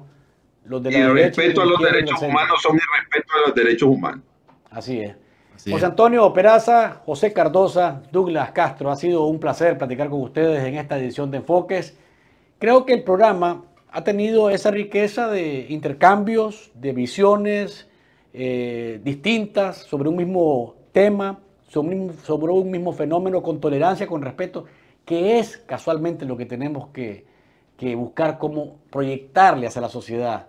Esa sociedad, ese país que queremos construir debe tener como, como base el respeto al otro, a lo que piensa el otro, a lo que dice el otro, porque una vez que comenzamos a respetar al otro por lo que piensa, por lo que dice o por lo que cree, entonces comenzamos a caer casualmente en lo que tanto detestamos, en una dictadura, en un autoritarismo, en una visión sectaria que simplemente quiere uniformar a todos de la misma manera. Gracias a cada uno de ustedes por habernos acompañado. Hasta la próxima entonces que podamos todo, eh, todos o cada uno de ustedes con otros actores intercambiar sus puntos acá en Enfoque. Abrazos. Un placer. Muchas gracias. Feliz fin de semana a todos. Gracias. Gracias. Saludos a cada uno de ustedes y abrazos a cada uno de ustedes también que nos están viendo, amigos televidentes y oyentes. Ustedes son los que han, creo, tenido la mejor eh, parte de esto porque han escuchado, han tenido la oportunidad de intercambiar ahí mientras estamos en el programa, en el debate que arman allá en el YouTube y en el Facebook. Y de eso se trata, ¿no? Un programa como este. Yo agradezco la franqueza de los invitados porque eh, de eso se trata también de, que planteen sus puntos de vista, sus visiones eh, y sus opiniones libremente, sin necesidad de creer que, hay que pensar como este o como aquel para caerle bien a la gente. La visión, el punto, eh, nuestros sentidos alrededor de una noticia o un acontecimiento deben ser respetados independientemente de lo que se diga y lo que se crea.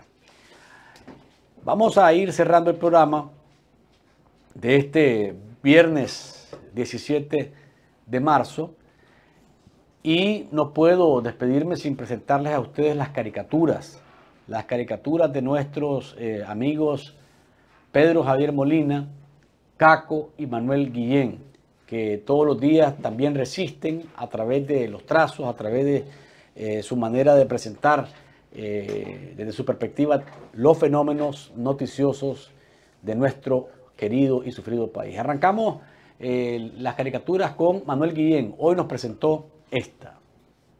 Y aparece casualmente, a propósito de Dante Mossi, él eh, parado en la, o de pie en la mano sangrienta o ensangrentada de Daniel Ortega y dice, soy uno de los pocos que tiene acceso al líder electo, como llamó Mossi durante el conversatorio al criminal eh, Daniel Ortega Saavedra. Seguimos con la caricatura de Caco. Hoy nos ha regalado esta. Dante Mossi, trabajamos para Nicaragua, no para el presidente, entre paréntesis, dictador.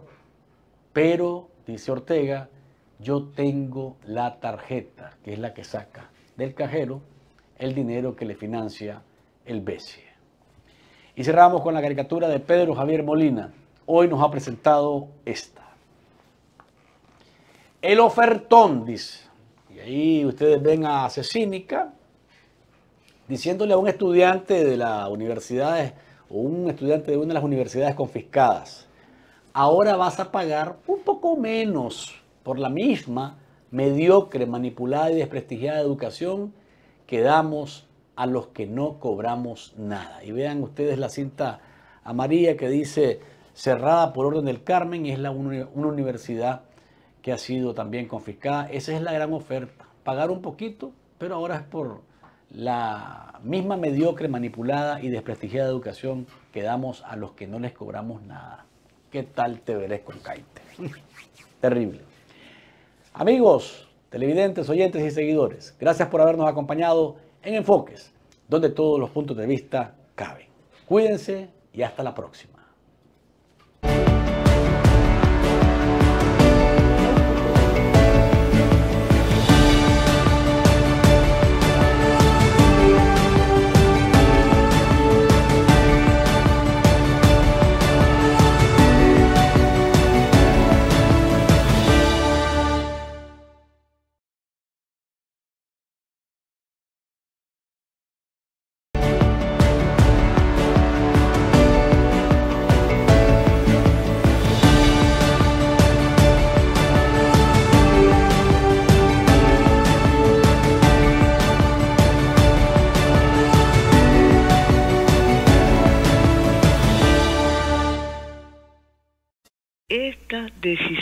Soberana de vivir en concordia, de vivir trabajando y prosperando desde la paz.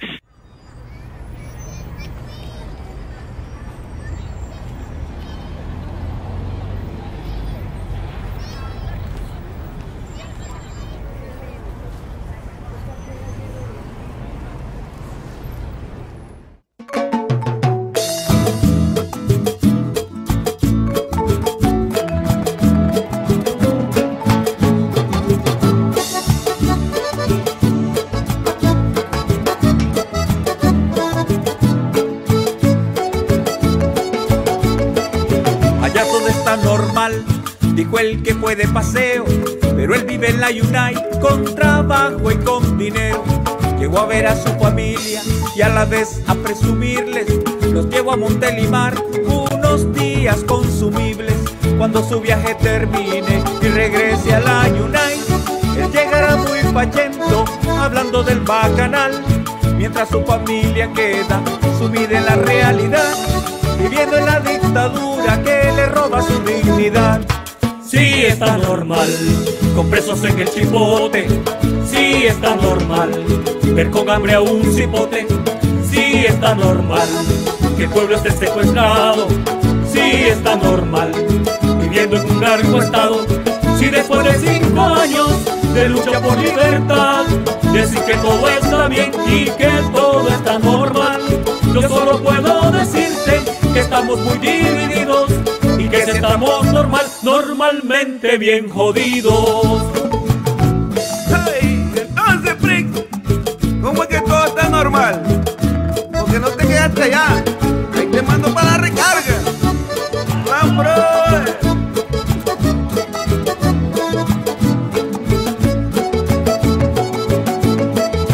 Es puro amor y paz, el que está en el gobierno porque si dice otra cosa, va al chipote o al infierno. Les pagan con pan y circo mientras los hacen marchar. Y después cuando los corren también tienen que emigrar. Emigran para el imperio al que tanto han maldecido. Después que lo destruyeron, dejan su país vacío. Mientras su familia queda sumida en la realidad, viviendo en la dictadura que le roba su dignidad. Sí está normal que arresten a los obispos. Sí está normal que no exista periodismo. Sí está normal que te tengan vigilado. Sí está normal vivir como un esclavo. Si después de cinco años de lucha por libertad te quieren quitar la patria y la nacionalidad, yo solo puedo decirte que este pueblo es tuyo y mío que somos nicaragüenses, nicas hasta el molenillo. En honor a estos cinco años de lucha cívica por la libertad de Nicaragua, recuerden, el opresor no sería tan fuerte si no tuviese cómplices dentro del mismo pueblo oprimido. ¡Viva Nicaragua libre! Son de abril.